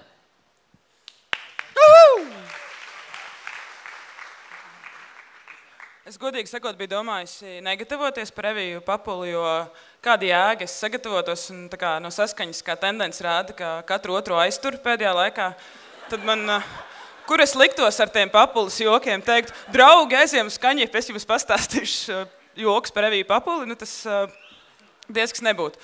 Bet uh, paskatīsimies to video, ko, ko minēja Jānis. Paldies, ka tu biji atvaļinājumā un uh, tagad uh, nozodz mums vairākus joks. Uh, bet nu paskatīsimies tie, kas nav redzējuši šo video. Ne? Atliek glezna un ieklausāmies Evijas pirmā replika. Tas nezinu, tas pēc tabakas. Pēc brīža Evija saka otrais. Es nezinu, man liekas, ka tabaka māja. Par šī te paprasam padomiem, mēs nezinām, ko mums gaidīt. Māja tabaka. Evija saka trešo reizi. Parād vēlreiz, parād vēlreiz. Bet bildi grib redzēt arī Anrijs. Nu, Anrij, būs vai nebūs? Viss tas pēc tabakas. Nebūs tabaka. Māja tabaka. Evija saka ceturto Cik tur? Ceļam rokas četri un piektais iet jautāt. Es, es, es, kas ir autors trešajam darbam? Māja tabaka. Māja tabaka. Nu, tā kā vajadzēja teikt. Nu. Teici, jā. Kas? Es teiktu, ne? Teici, es jā. Kāpēc tur es ne? Ai, ai, Ivar. Bet tā mēdz būt, kad dzird tikai sevi. Viss, mēs esam zvanām Paldies! Mēs redzam, cik ļoti Evijas balss ir sadzirdēta viņas pašas partijas iekšienē. Un tad es tā domāju, kā, kāda bija tā, tas veids, kā Evija nokļuva Lampā. Es domāju, viņ- ka viņi tur partijā diskutēja, kurš varētu braukt. Tad viņa teica, es katrā ziņā nē, man ir nopirktas jau biļetes uz Tenerife ar visu ģimeni. Man ir rezervēta viesnīca, Loro parks, viss tur būs. Un, jā, Evija vienīgā latvieta, varbūt sūtīsim viņu tur Lampā ar daudz latviešu, viņi paņems to publiku. Es atvainojos, es teicu, ka man jābūt Tenerife, man ir saņemta nopirktas biļetes, un Evija ir šeit. Tā, tā.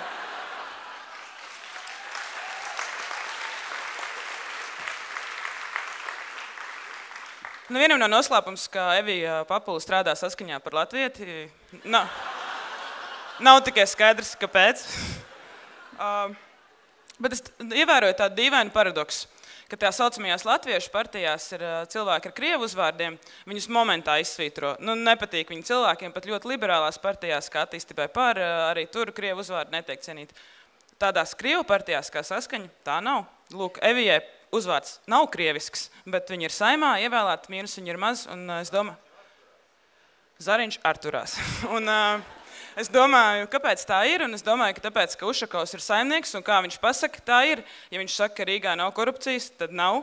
Ja viņš saka, ka trolēbus jāmazgā ar nano ūdeni, tad viņi ir jāmazgā, tur nav, nav variantu, un ja viņš saka, ka Rīgas ielas ir skaistas, tā ir, un ja jābalso par papulu, tad jābalso. Tur nav vienkārši netiek izskatīta un pieslēgta kritiskā domāšana. Un uh, Evija uh, jau diezgan ātri arī ir nozambāta, iekļuvusi tajā visā šļūrā, es nezinu, kā to nosaukt. Un, uh, viņai t- uh, TV24 raidījumā vaicāja, nu, nevienam no mums nepatika atbildēt šo jautājumu, vai Ušakovs ir aizbēdzis uz Eiropas parlamentu no nesmukumiem Rīgas satiksmē. Nu, reāli nu, nav ko atbildēt. Bet Evijai ir citāts. Emocionāli varētu izskatīties, ka viņš bēg, bet racionāli es ticu, ka viņš domā kā politiķis. Tā kā visu cieņu.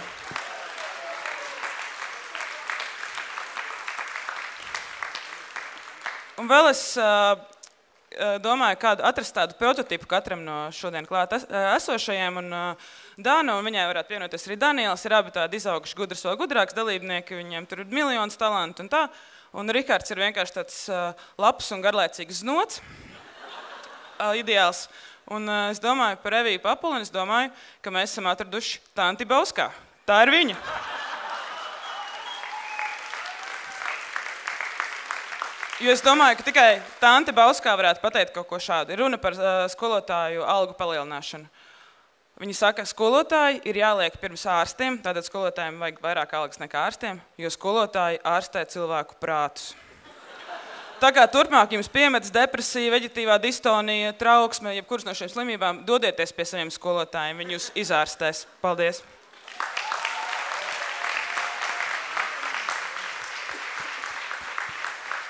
Paldies, Anete. Un uh, Pabals kundzes cepināšanu noslēgs Losku Grāns. Jā. Ah, jā, Evī, tev ļoti svarīga izglītība, vai ne? Tev ir svarīgs viss skolotājs, vai ne? Es nezinu, kāpēc tu mēģini atbildēt. Es zinu, ka neviens tevī neklausās, bet viss kārtībā. nē, nē, bet tas joks. jā, nu kas. Bet jā, Evī, un tā kā tiešām tu esi atstājis tādu nopietnu pēdu visu skolotāju dzīvēs. Man mamma un vecmāmiņa ir skolotājs, vai ne? Un tagad es mammai pateicu, mamma būs ā, jācepina Evī papu, un man mamma tā! Tu viņai sadod! Man zvanīja no laukiem vecmāmiņa. Krač, tev vajag ar materiālu palīdzēt. Atbrauc uz laukiem, tiksim galā. Jā. Tas, ko viņi īstenībā patiesi domā par savu vadītāju, vai viņš bēg, vai viņš rīkojās kā politiķis, jo tā, kad viņai prasīja, e, tad viņš, viņa emocionāli teica, ka viņš bēg, vai ne? Emocionāli viņa teica, ka viņš bēg. Tā kā Nīla, ja tu šo dzirdi, viņa pati savā video saskaņas vizītkartē teica, ka uz saskaņu es devos emociju vadītam. Bet jā, ā, es pateikšu, kāpēc varbūt tās Zariņa kungs, Zariņš tas bija, kas neklausījās viņā. Kā, kāpēc viņš tevī neklausījās, jo tevī nav jēga klausīties. Tā kā, Jo tu mēdz melot, jo saimas vēlēšanas bija 2018. gada oktobrī, ja nemaldos. Ja? Oktobrī. Un 2018. gada februārī, februāra beigās, 28. februārī, lasu interviju ar Reviju Papuli. Jautājums, vai tuvākajā laikā plānojat iet politikā? Nē, pārredzamā nākotnē šāds plāns man nav. Kā, ja divi mēneši tev nav pārredzama nākotne, lūdzu, domā par mūsu nākotni. Es atvainojos. Man bija tikai lūgums, Pāvils kundze, lūdzu, tikai neiet tālāk. Kukurāns nolauzīs galvu. Viņš jau viņš, viņš, viņš nevar. Jā, paldies. Bet, jā, starp citu, es gribētu, lai mēs visi aplaudējam Evijai Papulai. Jo viņa ir forša, viņa ir, sko- viņai, viņa, viņai ar to visu izglītību, viņai ir tādas izglītības misija, viņa grib mācīt lietas, un es domāju, ka viņa aizgāja uz saskaņu, lai viņa varētu būt saviem partijas biedriem skolotāja. Tu tik daudz ko vari iemācīt saviem partijas biedriem, tāds sīkums kā latviešu valodu, himnu. Tas, kas tur piec, reizi piecos gados notiek meža parkā, tas nav fašistu protests. Tā kā Tu ļoti daudz ko vari iemācīt. Bet, bet jā, tev ir ļoti daudz šķautnes, jo es nezināju, ka tu esi arī autore interesantiem darbiem, kā piemēram Evija Papula ir lasījusi savu referātu ar nosaukumu Bilinguālā izglītība, domu zīme, Latvijas veiksmes stāsts. Tā, es tiešām nezināju, zinātniskās fantastikas autori. Tā kā fantastiski. Bet es domāju, mums vienkārši dzīvē tā vajag sev mierināt vienmēr. Tā kā kaut kas ir slikti, pieliekam klāt veiksmes stāsts un jutīsimies labāk. Tā kā Danas reiznieces atbildes runa - veiksmes stāsts. Latvijas futbola izlase - veiksmes stāsts. Čaka iela - Rīgas veiksmes stāsts. Bet jā, man patīk, arī tu ej uz Rīgas TV24. Es nezinu, kāpēc tas šodien ir tik populārs. Parādām vienu bildi. Man patīk, ka Rīgas TV24 tā pie mums nāks sievietes saistībā ar izglītību. Uzliekam fonā grāmatplauktu. Jā, jā, jā. Grāmatas izglītība, viss nais. Es ceru, ka nāks tev partijas biedri, ka tur nāks uzšakaus. Tā kā uzliksim fonā lēts biļets uz Briseli. Bet vēl savā vizītkartē eh, Evija Papula teica, šādu tu tekstu varēja atrast eh, pirms vēlēšanām, kad viņai politikā svarīgi nav vārdi, bet svarīgi ir darbi. Un to, ka svarīgi nav vārdi, tieši uztvēra arī viņas padotais deputāta palīgs lūdzu video. Vai jūs esat arī saimnes deputāta palīgs? Jā, esmu gan. Cik deputātiem? Jā, Vitālijam Urlovam un uh, diviem. Kurš ir otrs? Jā, Tūlītās. Uh, divi. Ok, es nezinu, kam jūs esat nē, palīgs? Es, es zinu. Nu, kam jūs esat? Es vienkārši tagad droši. stresoju. Jā, um, ah, tur bija viņš. Jūs aizmirsāt deputātu, kura palīgs jūs esat? Jā. Nu, es aizmirsu vienkārši vārdu. Aizmirsāt vārdu? Vārdu Sieviete, piemirsu. vīrietis, vārdu varbūt Sieviete, atceraties. Ā, Ļoti daudz jautājumu vienkārši. Ļoti nē, nu, īsajā brīdī, tāpēc. nu, jūs daudz darbos strādājat arī, varbūt, tāpēc jums daudz jautājumu. Nu, jūs esat Orlovam un? Orlovam un, un, un, un, un. Ļubovai Švecovai varbūt? Nē, nē. Reginai Lošmalai? Nē. Ingai Goldbergai? Nē. Skatāt, ka sievietes sauc, Jā. sievietes no frakcijas. Tur vēl, vēl sieviete. Ā, Vēl tā Evija Papala varbūt. Jā, Evija. Viņa. Paldies! Tur esat fiktīvi nezinu, Nē, attiecas. es- Paldies!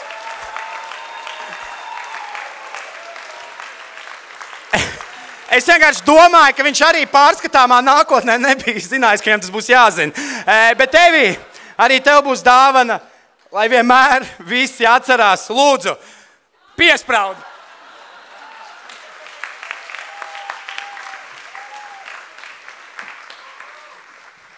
Paldies, Rudolf, un eh, Evija, jūsu atbildes runa. Aplausos, dāmas, kungi! Carlis, we can take the skill.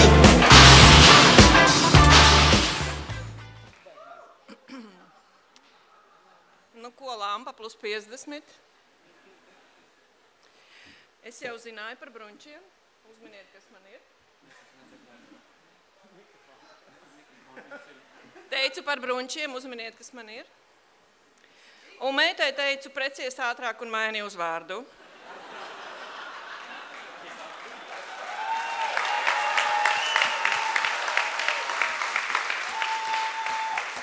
Bet cēsīs ar šo uzvārdu neieteiktu jokot. Ja vēl nezināt, paskatieties kaut kur, nezinu, vai gluži YouTube. Un TV24, Rīga 24 arī nē, bet paskatieties. Ir tāda iestāde, un tur būs interesanti. Un diez vai jums gribēsies pajokot par uzvārdu. Bet uh, Valmiera vienalga ir labākā pilsēta, vienalga kaut lampa ir cēsīs. Un tādēļ, kaut arī manī neviens neklausās, tad es izdomāju, ka visprātīgāk, kā latviešu valodas skolotājai pēc diploma, ir runa uzrakstīt. Un es viņu tagad lasīšu, jo man tāpat ir skaidrs, ka neviens neklausīsies. Arī tāpēc, ka no saskaņas.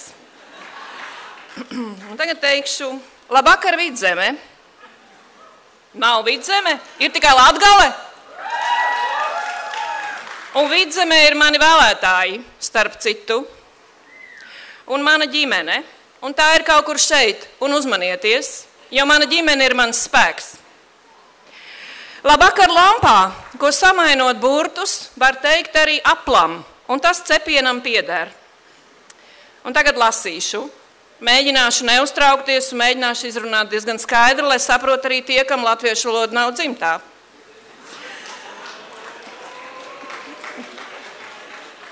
Nu, varbūt latviešu valoda nav gluži dzimtā, jo šobrīd populāra ir cita novada valoda. Un, ja jūs tajā nerunājat, iesaku ātri mācīties. Jo kamēr ir šie valdība un šie ministre, jums būs ne tikai jārunā tajā valodā, ko Jānis pieminēja, bet arī jāraksta. Un jāizvēlās, kuru no rakstības jūs izvēlēsieties, jauno vai veco, un kam jūs īsti dosiet priekšroku. Varbūt, ka tomēr savai izvēlei.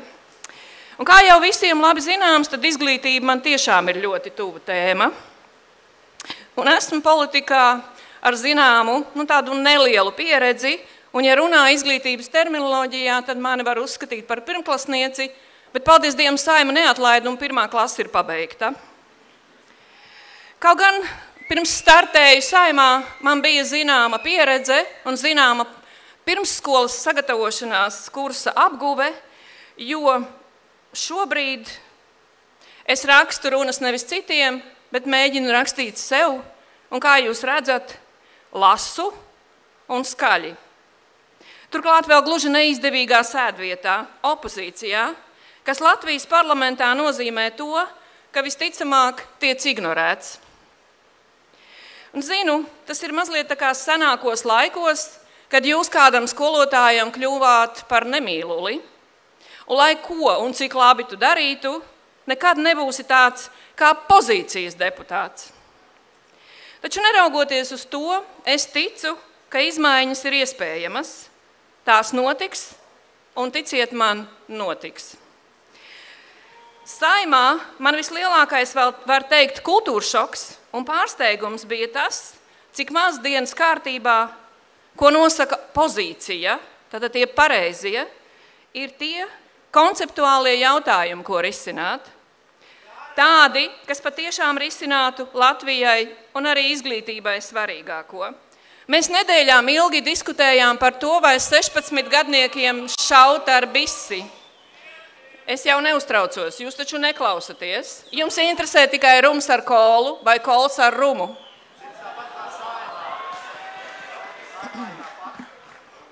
Saima, jūs zināt, pieņem tādus fragmentārus, nekam nederīgus lēmumus, un to pirmklasnieki pagaidām vēl var iemācīties. Bet, zināmā mērā, es esmu iemācījusies vienu lietu uzvesties, tā kā jūs tagad. Jo bļaut no malas ir daudz foršāk un bezsodīgāk. Bet runāt un izdarīt to, kas ir vajadzīgs Latvijai, ir diezgan pagrūti. Jā, savā jaunajā politiķas darbā es tiešām mazliet koncentrējos uz jomām, ko pār, pārvaldu, kam esmu veltījis diezgan ilgu laiku. Un man tiešām ir ļoti svarīgi, lai, Latvija, lai Latvijā skolotāji saņemtu algas un būtu ne tikai jūsu prāta ārsti, bet arī tie, kas kādreiz bija skolotāji jūsu vecvecākiem. Lai mums nebūtu tikai krievu vai latviešu dārziņi, bet būtu pieeja dārziņos, lai mums nebūtu krievu vai latviešu skolas, bet būtu labas skolas. Ja jūs esat šeit, jūs esat, jūs esat aktīvi, jūs varat domāt, ka jums bija laba skola. Tad kāpēc tādai labai nebūt arī jūsu bērniem un dot Dievs Latvijā arī mazbērniem? Jā, mani uztrauc tas, lai arī Tanta Bauskā. Mani uztrauc tas, ka skolotājiem nav algas, ka skolotājiem nevar atrast dažus miljonus, bet akcijas novēršanai uz sešiem vai deviņiem mēnešiem atradīs ne to vienu. Jā, mani ļoti cepina tas, ka jūs naivi domājat, ka bez finansēm, izglītībai un zinātnei kaut kas mainīsies. Un es, starp citu, nekautrējos saukt lietas īstajā vārdā. Un izrādās, ka viņi klausās. Es varu turpināt.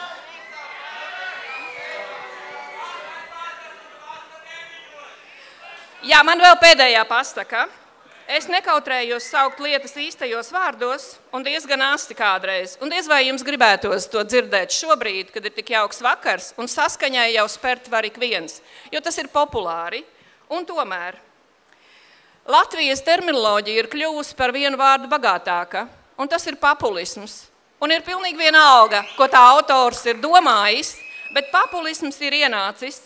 Un zināmā mērā, jā, tas nozīmē darbību, ņemties tik ilgi, kamēr tevi sadzird, ņemties tik ilgi, kamēr tu vari kaut ko izdarīt, jo tikai beigtas zivis peld pa straumi.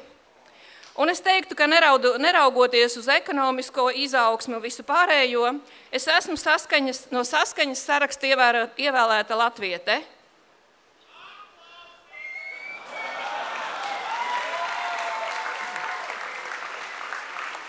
Un daudziem tas tiešām nav saprotams. Bet arī tā var mīlēt savu valsti. Un galu galā mēs tiešām vēlamies, lai mums ir nevis histēriski pieņemti emocionāli lēmumi izglītībā, bet es esmu par sadarbību, prāta apsvērumiem un attīstību. Es esmu pret apspiestību un tumsonību, arī tiem, kas ir šeit, tumsa drīz beigsies. Ar atturēšanos man ir diezgan grūti. Es mācos, ilgi mācīju citus, un populisms gaidiet. Paldies!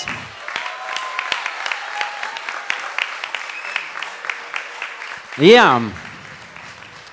Paldies jums par atbildi. Cienījamie skatītāji, es gribētu sarunāt tā, ka ā, politiķi ir um, piekrituši, ka mēs ā, cepināsim viņus, un, ja gadījumā kāds vēršās arī jūsu virzienā, jums ir iespēja lieliski to skatīties, tā ka neapvainojieties, ja ā, kāds cepināms vārds tiek arī jums. Bet, Papuls kundze, te ir viena neliela problēma. Kolosāls runājamais, bet tam bija jābūt ņirdzīgi. Tas vienkārši formāts ir tāds. Saprotat? Jo tas ir viens no iemesliem, kāpēc politika nevienu neinteresē. Jēzus, cik garlaicīgi, ārprāts. Bet paķeksi, bet paķeksi, jā. Kaut kādā pilnīgi citā pasākumā, pilnīgi citā vietā. Tādā ziņā. Paldies. Uh, Daniels, pa, Daniels Pavļots ir uh, tas, ar ko mēs noslēgsim.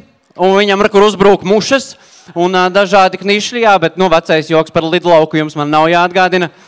Jā, tāpēc. Redzi, man ir šāds. Jā, starp citu, iespējams, būsiet pamanījuši, man ir mainījusies frizūra. Uh, tas nav gluži par godu šim pasākumam, bet varētu uh, savā ziņā būt. Pirms divām nedēļām man bija jā, jādodas tādā tā kā atvaļinājumā, piespiedu kārtām, nenormāli patīk strādāt. Un, un tad es paprasīju meitai, 13-gadīgajai, lai viņa man nogriež frizūru, kaut kādu uztaisīju. Viņa teica, kādu tu gribētu. Es teicu, tā kā Pavļutam. Un, un, un, un, un viņa teica, bļās, tu gribi būt nulle. Un es teicu, Nē, meitiņ, es gribu, lai man ir nulīte. Zini, kā bērni viņa nesaprot, ko viņi runā. Bet, jebkurā gadījumā, šis bija tuvākais, ko mēs varējām dabūt. Daudz viņai negrib pārmest. Bet tad paklausīsimies, kas mūsu komiķiem par Pauļu kungu ir sakāms. Un sāksim ar bāliņu. Halo, Zvaigznes! Tap, tap! Tad mums jādabū kaut kāda enerģija atpakaļ pēc lekcijas. Hup, hup, hup, hup, hup, hup, hup. Aiziet, sāksim. Nu, uh, Bišķi pačakojām uh, Pauļu kungu Twitterī arī, kas tur labs, pirmā bilde varbūt uzreiz, jā? Tur labs teksts. Āgenskalns, te mēs nākam, vietējais iedzīvotājs Vilhams, jaunās sejas Māra un Meijere un vecais vēzis es. Daniel, tas, ka tev nav matu, nenozīmē, ka tu vari sev saukt pa vēzi.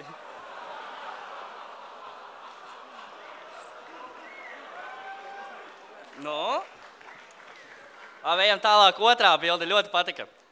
Džeki, nostājušies mēs uz pili. Ja? Četri džeki. Tas, tas man atgādina tā kā, tās meitenes, kuras iet uz vecrīgu, uztais bildīt. Nu, minkas iet uz vecrīgu, saturās. Kas man te patīk? Trīs džekiem ir slīpses, ja? Nu, ne jau mūsu Danielam. Viņam ir saulenes. Viņš laikam arī slīpsē pa acīm sien. Viss kārtībā. Daniels ļoti daudzās intervijās un vispār mēdiem diezgan bieži teica, ka pagājušajā gadā, kad ļoti svarīgi, lai jaunā valdība tiktu sastādīta līdz Ziemassvētkiem. Atceries, bija tāda lieta. Laikam domāju, ka ja netiks sastādīta, saltēts nesīs žagarus. Jā. Jā. Aplūkoju arī, kā, kā Daniels uh, sūta ziedojumu savai partijai. Ļoti forši, konsekventi katru mēnesi, 10. datumā pa sotakam. Viss, viss kā pienāks forši. Kā aldziņa tā aizsūta, viss forši. Un tad vienā mēnesī skatos, 12 eiro aizsūtīt. Kas tas ir par taksi kaut kādu? Tas bija papildus. Pasākumam vienam. Nu, divas rumkaulas sanāk, jā. Ok, viss kārtībā. Uh, Daniel, uh, ja godīgi, es balsoju par tevi vēlēšanās, nu par tavu partiju, bet tas neko labu neliecina īstenībā par tevi, jo es balsoju arī par pirātiem, kad viņi bija Eirovīzijā. Jā, un pēdējais, uh, es čomiem teicu, ka būs jācepina Pāvļuts, ah, nē, vēl viena lieta, uh, bija intervija, ja nemaldos, ar dziesmu par dzīvi, kur teica, ka viena no tavām mīļākajām grupām, ja ne pati mīļākā, ir prāta vētra, vai ne? Ne pati, bet nu, tev patīk ļoti prāta vētra. Sāk klausies. Tas tāpēc, ka tu cer nonākt jubalta vietā, ja neviens nepamanīt atšķirību. Vai ne?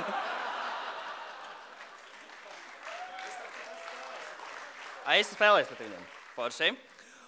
Un pēdējais, kad es čomiem pateicu, ka būs jācepina Pāvļuts, jā, teicu, nu, nekā jau par viņu baigi daudz nav. Normāls kā politiķis. Tā un šitā. Vienīgi nu, tas, ka viņam tas zods nenormāli liels esot. Pastījos, da nē, it kā normāls zods. Vienīgi tā, ka viņš iet gar golfa laukumu, viss saka, saka lai nekustina bedrīt. Abi tas man arī viss, paldies!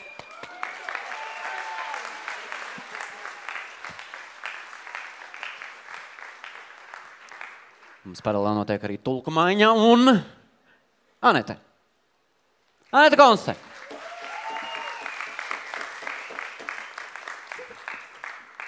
Cik no jums zina, kas ir Daniels Pauļots? Paceliet rokas. Nu, man arī likās, ka daudzi zina pirms šī cepiena, bet uh, tad saskāros ar situāciju, ka trīs mani draugi sajauca viņu ar pabriku. Un, uh, tad bija vēl interesantāka situācija, kas teica draudzenei, ka man jāgatavo par uh, pabriku, uh, pa, pavļutu. Uh, cepiens viņa teica, un tu jau droši vien zini, ka viņš to dēlnu izzaga. Un es saku, nē, šito es gan nezinu. Es saku, nu kā nu bija tā, mums tur birojā iebrauc viena sieviete. Viņa teica, ka tā jau viņa gribētu balsot par progresīvajiem, bet tas Pavļuts to dēlnu izdzēs, un viņi nevar nobalsot par progresīviem. Es saku, Pavļuts taču nav progresīvs. Ah, es laikam putni sajaucu. Nu tā. Uh, bet tāpēc mēs šeit esam, lai kopīgi atcerētos dažādus jaukus mirkļus no Daniela dzīves. Un es nezinu, cik daudz no jums atceras laiku ekonomikas ministrijā viņam kopā ar Juru Pūci, kas iesākās varbūt skaisti. Bet Tad viņi tur sastrīdējās par OIK un kas tur kas tur, un tad izjuka tā savienība. Tad es iztēlojos viņus kā tādu romantisku pāri. Un, parasti nu, tu izšķiries, un tad nu, tur liekas stulbs tas partneris. Tā, bet pēc laika sāc domāt, nu, tomēr tikai ar viņu varēja kopā tur tik forši pa mežu staigāt, vai ko nu tur likt puzli, vai ko nu tur dara pāri. Un tad es domāju, ka Daniels domāja, tikai ar Juri varēja tā praidā iet par ošūnām cīnīties. Varētu mēs atkal kopā sajiet. Un tagad viņi atkal ir kopā vienā partijā. Man prieks par to. Un, kas nav mazsvarīgi, arī Jurim patīk prāta vētra. Tikai, ja Danielam tādi progresīvāki, jaunāki albumi, tad Jurim vecā klasika. Viss ir tieši tā, kā tu vēlies. To es, starp citu, arī uzzināju raidījumā ar dziesmu par dzīvi, un tur es uzzināju vēl kaut ko interesantu. Uh, Daniels teica, ka viņš ir tāds pieredzējis politiķis, viņam nebūtu baigi grūti tikties ar Obamu un tā. Bet ir divi tādi garīgie līderi, ar ko viņam būtu tā nērtāk tikties. Un viens ir Dalai Lama, un otrs ir Māte Terēze. Un es domāju, nu, es, man arī būtu nērti ar Māti Terēzi tikties. Es iedomājos, es naktī guļu, pamostos, un tur Lietuvā nav vietā sēž Māte Terēze, jo Daniela viņa ir mirusi. Tas ir, tas ir jocīgi. Uh, jā, bet uh, vēl es gribētu parunāt par kādu priekšmetu, lūdzu, video, uh, bildi. Tātad es iedomājos, kā šo, šo priekšmetu sauktu, piemēram, Rihards Kols un viņa vēlētāji. Viņi teiktu, tas ir mūsu ražības uh, simbols, jūmis un tā. Tad, uh, ko teikt tur ZZS? Viņi teikt, tas, man liekas, taisīts no liepas koka, tāpat kā, nu tā praktiski bija, tāpat kā man galds mājās tur. Jā, vai izskapts, kur tur un tā. Ko teiktu saskaņa? Viņi teiktu, aizvāciet tās nacistu zīmes. Un, Un, uh, teiktu, bet tas pat nav ugunskrusts. Aizvāciet tās nacistu zīmes, vai, vai Evija Papula teiktu, nu, emocionāli tā var izskatīties pēc nacistu zīmes. Ne, emocionāli tas var izskatīties pēc jūmiņa, bet reāli tā ir nacistu zīme. Bet, ko teiktu tāds stilīgs, liberāls cilvēks, tur žaketīts, tur bītlēna, paskatīsimies, kā viņš šauktu šo zīmi. Kad atrasim piezvanīt bitiniekam, viņš gaida. Apsveicam. Tā, mobilais telefons ņemat pretī uzreiz, ņemam vērā, kas mums ir. Zvans draugam, jā, vai kā? Kods? Če, četri tautiski kod, koku sūdiņi, koku astoņi. Mums ir tādi, jā. Tā mēs nevaram teikt par tautiskiem simboliem. Taut. Tautiski koka sūdiņi. Lūk, uh, pados. Es jau tev priekšlaicīgi gribu uzdāvināt dāvanu, vēl nāks Rudolfs, bet uh, tev ar Jūri un varbūt citiem tāds draudzīgus rokas sprādus, lai jūsu savienība nekad neizjūg, lai jūs turaties kopā, nekādi oji, kā jūs nešķir vairs. Lūdzu.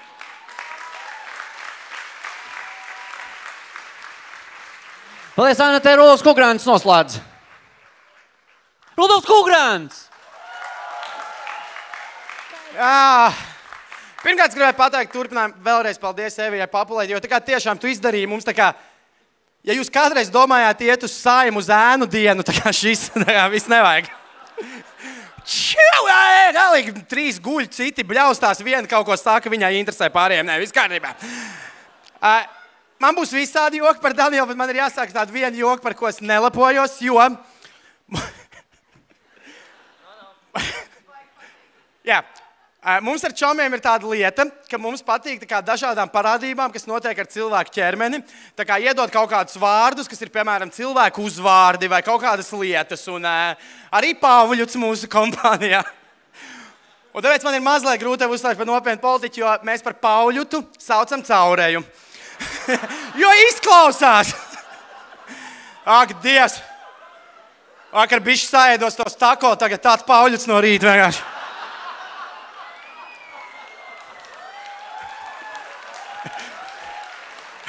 Vai mans mīļākais? Tūlīt būs nereāli inteliģentais kombo joks. Ā, Vakar ar čomiem bijām tādā papulē, šorīt Pauļuts.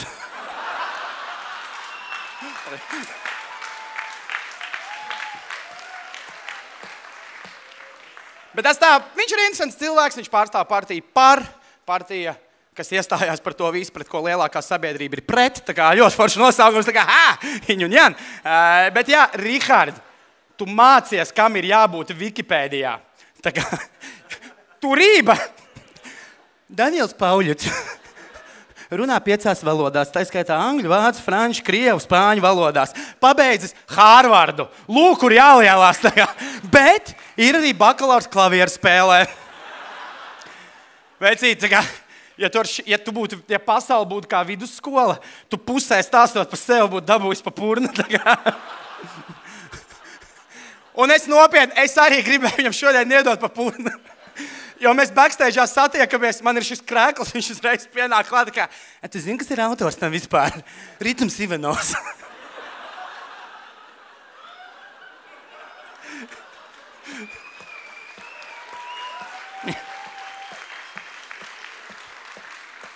Tā kā- Tā kā katru reizi vienalga, ko tu stāstīsi, man tikai liksies, ka tev galvā ir, es māku piecas valodas. Hārvarda. Jā.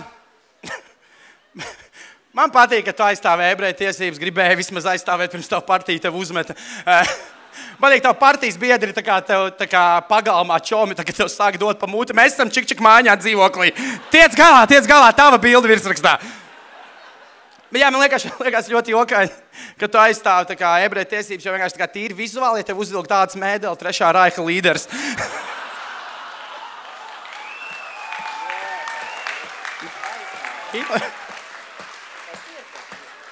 Jūsu partija ir interesanta. Internetā viss kaut kur klejo tādu informāciju. Tu noteikti neesi lielākais partijas ziedotājs, jau 12 eiro. Bet runājot, kad Jānis Zuzans ir viens no lielākajiem jūsu partijas ziedotājiem, Jānis Zuzans, viņam tur Fēniks, Laimētavs piedara, un tad es tā domāju, tā kā, jūs esat pretējais Robinam Hudam. Jū- Jūs tā kā ņemat no nabagajiem un dzīves pabērniem un dodam bagātajiem. Viss kārtībā. Bet jā, man nav neviena tava bilde vai tavs video, tāpēc, ka tu visos izties vienādi, un tas ir mazliet ielietis galvu un šādi. Tā kā es noklausījos pilnīgi visas tavas intervijas, tā kā tu esi tik pārdomāts, tu kā uz visu atbildi pārdomāti, ne, nekas nav tāds, nu, tu, tu domā uz priekšu, man liekas, tu jau zvanīji pirms dziesmu par dzīvi, kāda būs jautājuma, tu trīs mēnešus priekš, kamēr viņa nezināja divus mēnešus priekš, ka kandidēs vēlēšanās. Viss kārtībā.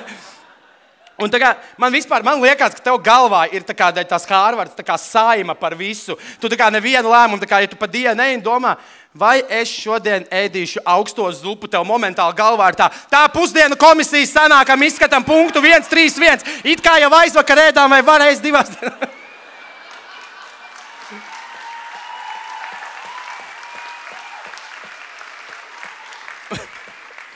Un kā tu spēlē klavierus, un man arī liekas, ka klavierus viņš spēlē binārā kodā. Tā kā viņš pieiet pie klavierēm, tā komisija izskata, šodien drīkst spēlēt klavierus, un tad sākās. Balts, balts, balts, melns, melns, balts, balts, balts, melns, melns, melns, balts, balts, balts. Paldies, tas man šodien arī viss! Rolas Kurants! Un uz šiem pašiem aplausiem Daniels Pavaļots atbildes runa. Hop uz tā paša viļņa. Hopatī!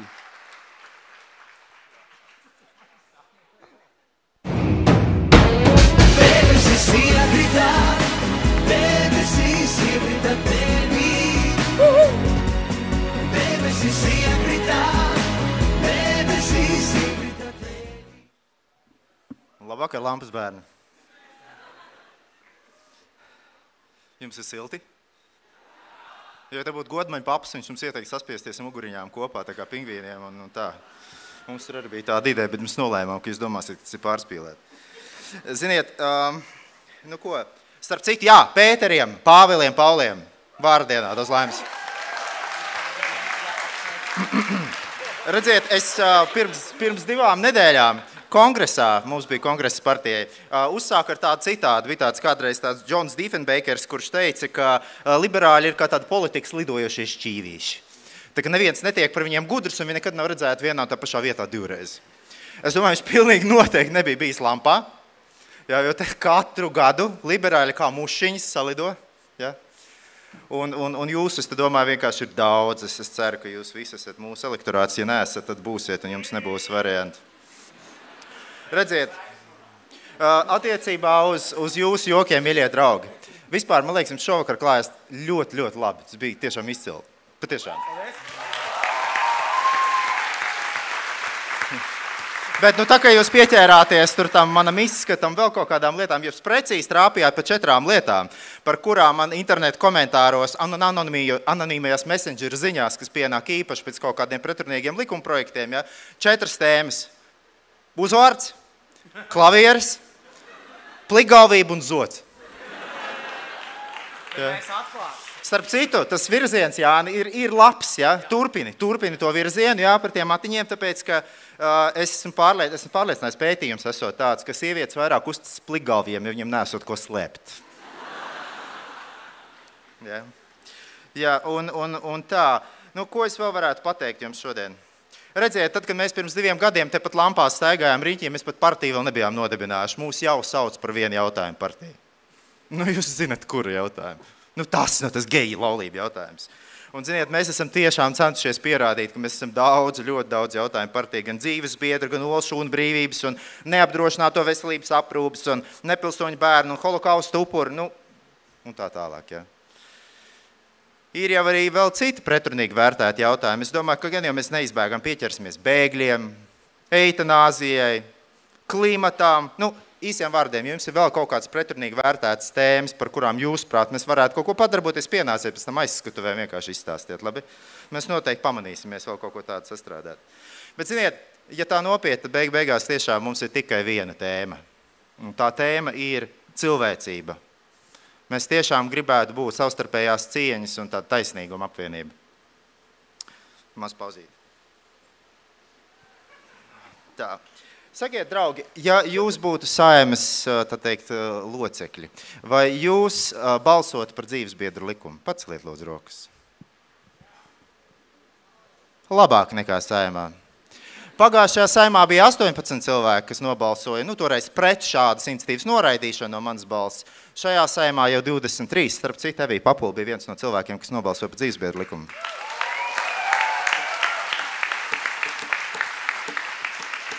Starp citu, es mazliet piemērs, man tur bija tāds sa- sagatavots. Ja? Es uh, normāli par to nacistu joku arī es par šito biju padomājis. Uh, normāli es droši vien izskatītos pēc savu izskatu, pēc cilvēka, ja, kas varētu bīdīt tiešām kaut kādas skinhead tēmas, ja, vai tur balto vīriešu dominants. Ja? Tāpēc es tās savus hipsteru brīlītes uzlikšu atpakaļ, tāds pats kā simtiem cilvēku šeit publikā, ja? un, un būs labi. Bet uh, kā izvēl, kas šis tāds ir? Ko jūs redzat? Skaļāk, banāns ar bērnu mutu runā patiesība. Rihard, kas tas ir? Banāns. Tiešām reizēm banāns ir tikai banāns. Banāns ir tikai banāns, Rihard. Nu, bet kāpēc ka mēs ierosinām dzīves biedru likumu, kurš risina cilvēku un nelaulātu pāru attiecības? Viss, ko mēs dzirdam, viņi grib degradēt laulības institūtu, un viņi grib legalizēt geju laulības. Ziniet, tā drosme reizēm tiešām ir vajadzīga arī politikā, cits starpā ieraudzīt realitāti. Ieraudzīt to, ka reālie kopdzīves modeļi cilvēkiem un ģimenes modeļi ir pilnīgi savādāk nekā varbūt tie bija agrāk. Tas ir normāli. Un ir vajadzīga drosme izlīst no tiem saviem krūmiem un paskatīties aiz tiem baiļu kokiem un ieraudzīt cilvēku mežu. Mēs pie šī jautājuma strādāsim. Jūs varat paļauties, ka mēs dzīsim to likumu cauri, un tas, nu, mēs viņu noteikti pieņemsim. Pirms vēl pūcam astus ziedēs.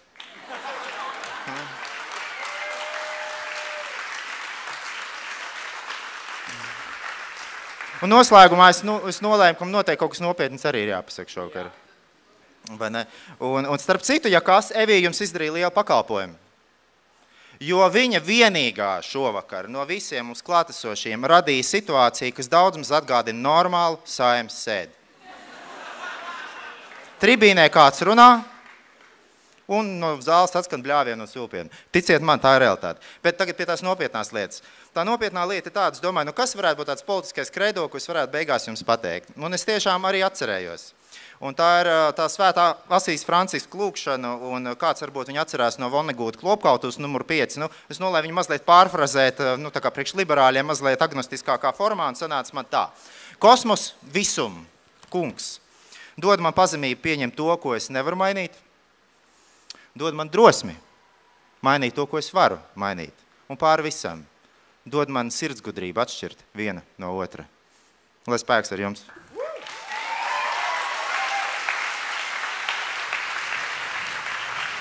Paldies! Lai spēks ar jums, dāmas un kungi! Līdz ar to cepināšanas sadaļa mums ir noslēgusies, un es domāju, ka mēs esam, nu, te visa komanda pelnījuši viens kolosāls aplausus. Dana Reizniece, Ozola, dāmas un kungi. Rihards Hols, Evija Papulē, Daniels Pavļuts un mūsu cepinātāji Rudolfs Kugrans, Edgars Bāliņš, Anete Konste. Un te vesela grupa tulku mums bija, ar, kā, kā mainījās. Bam, bam, bam, bam, aplaus arī vadītājiem Jānim Skutelim!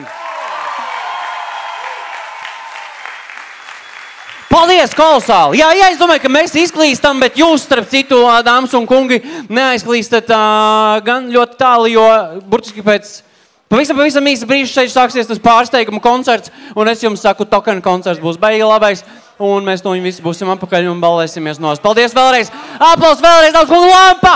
Lampa! Cepiens!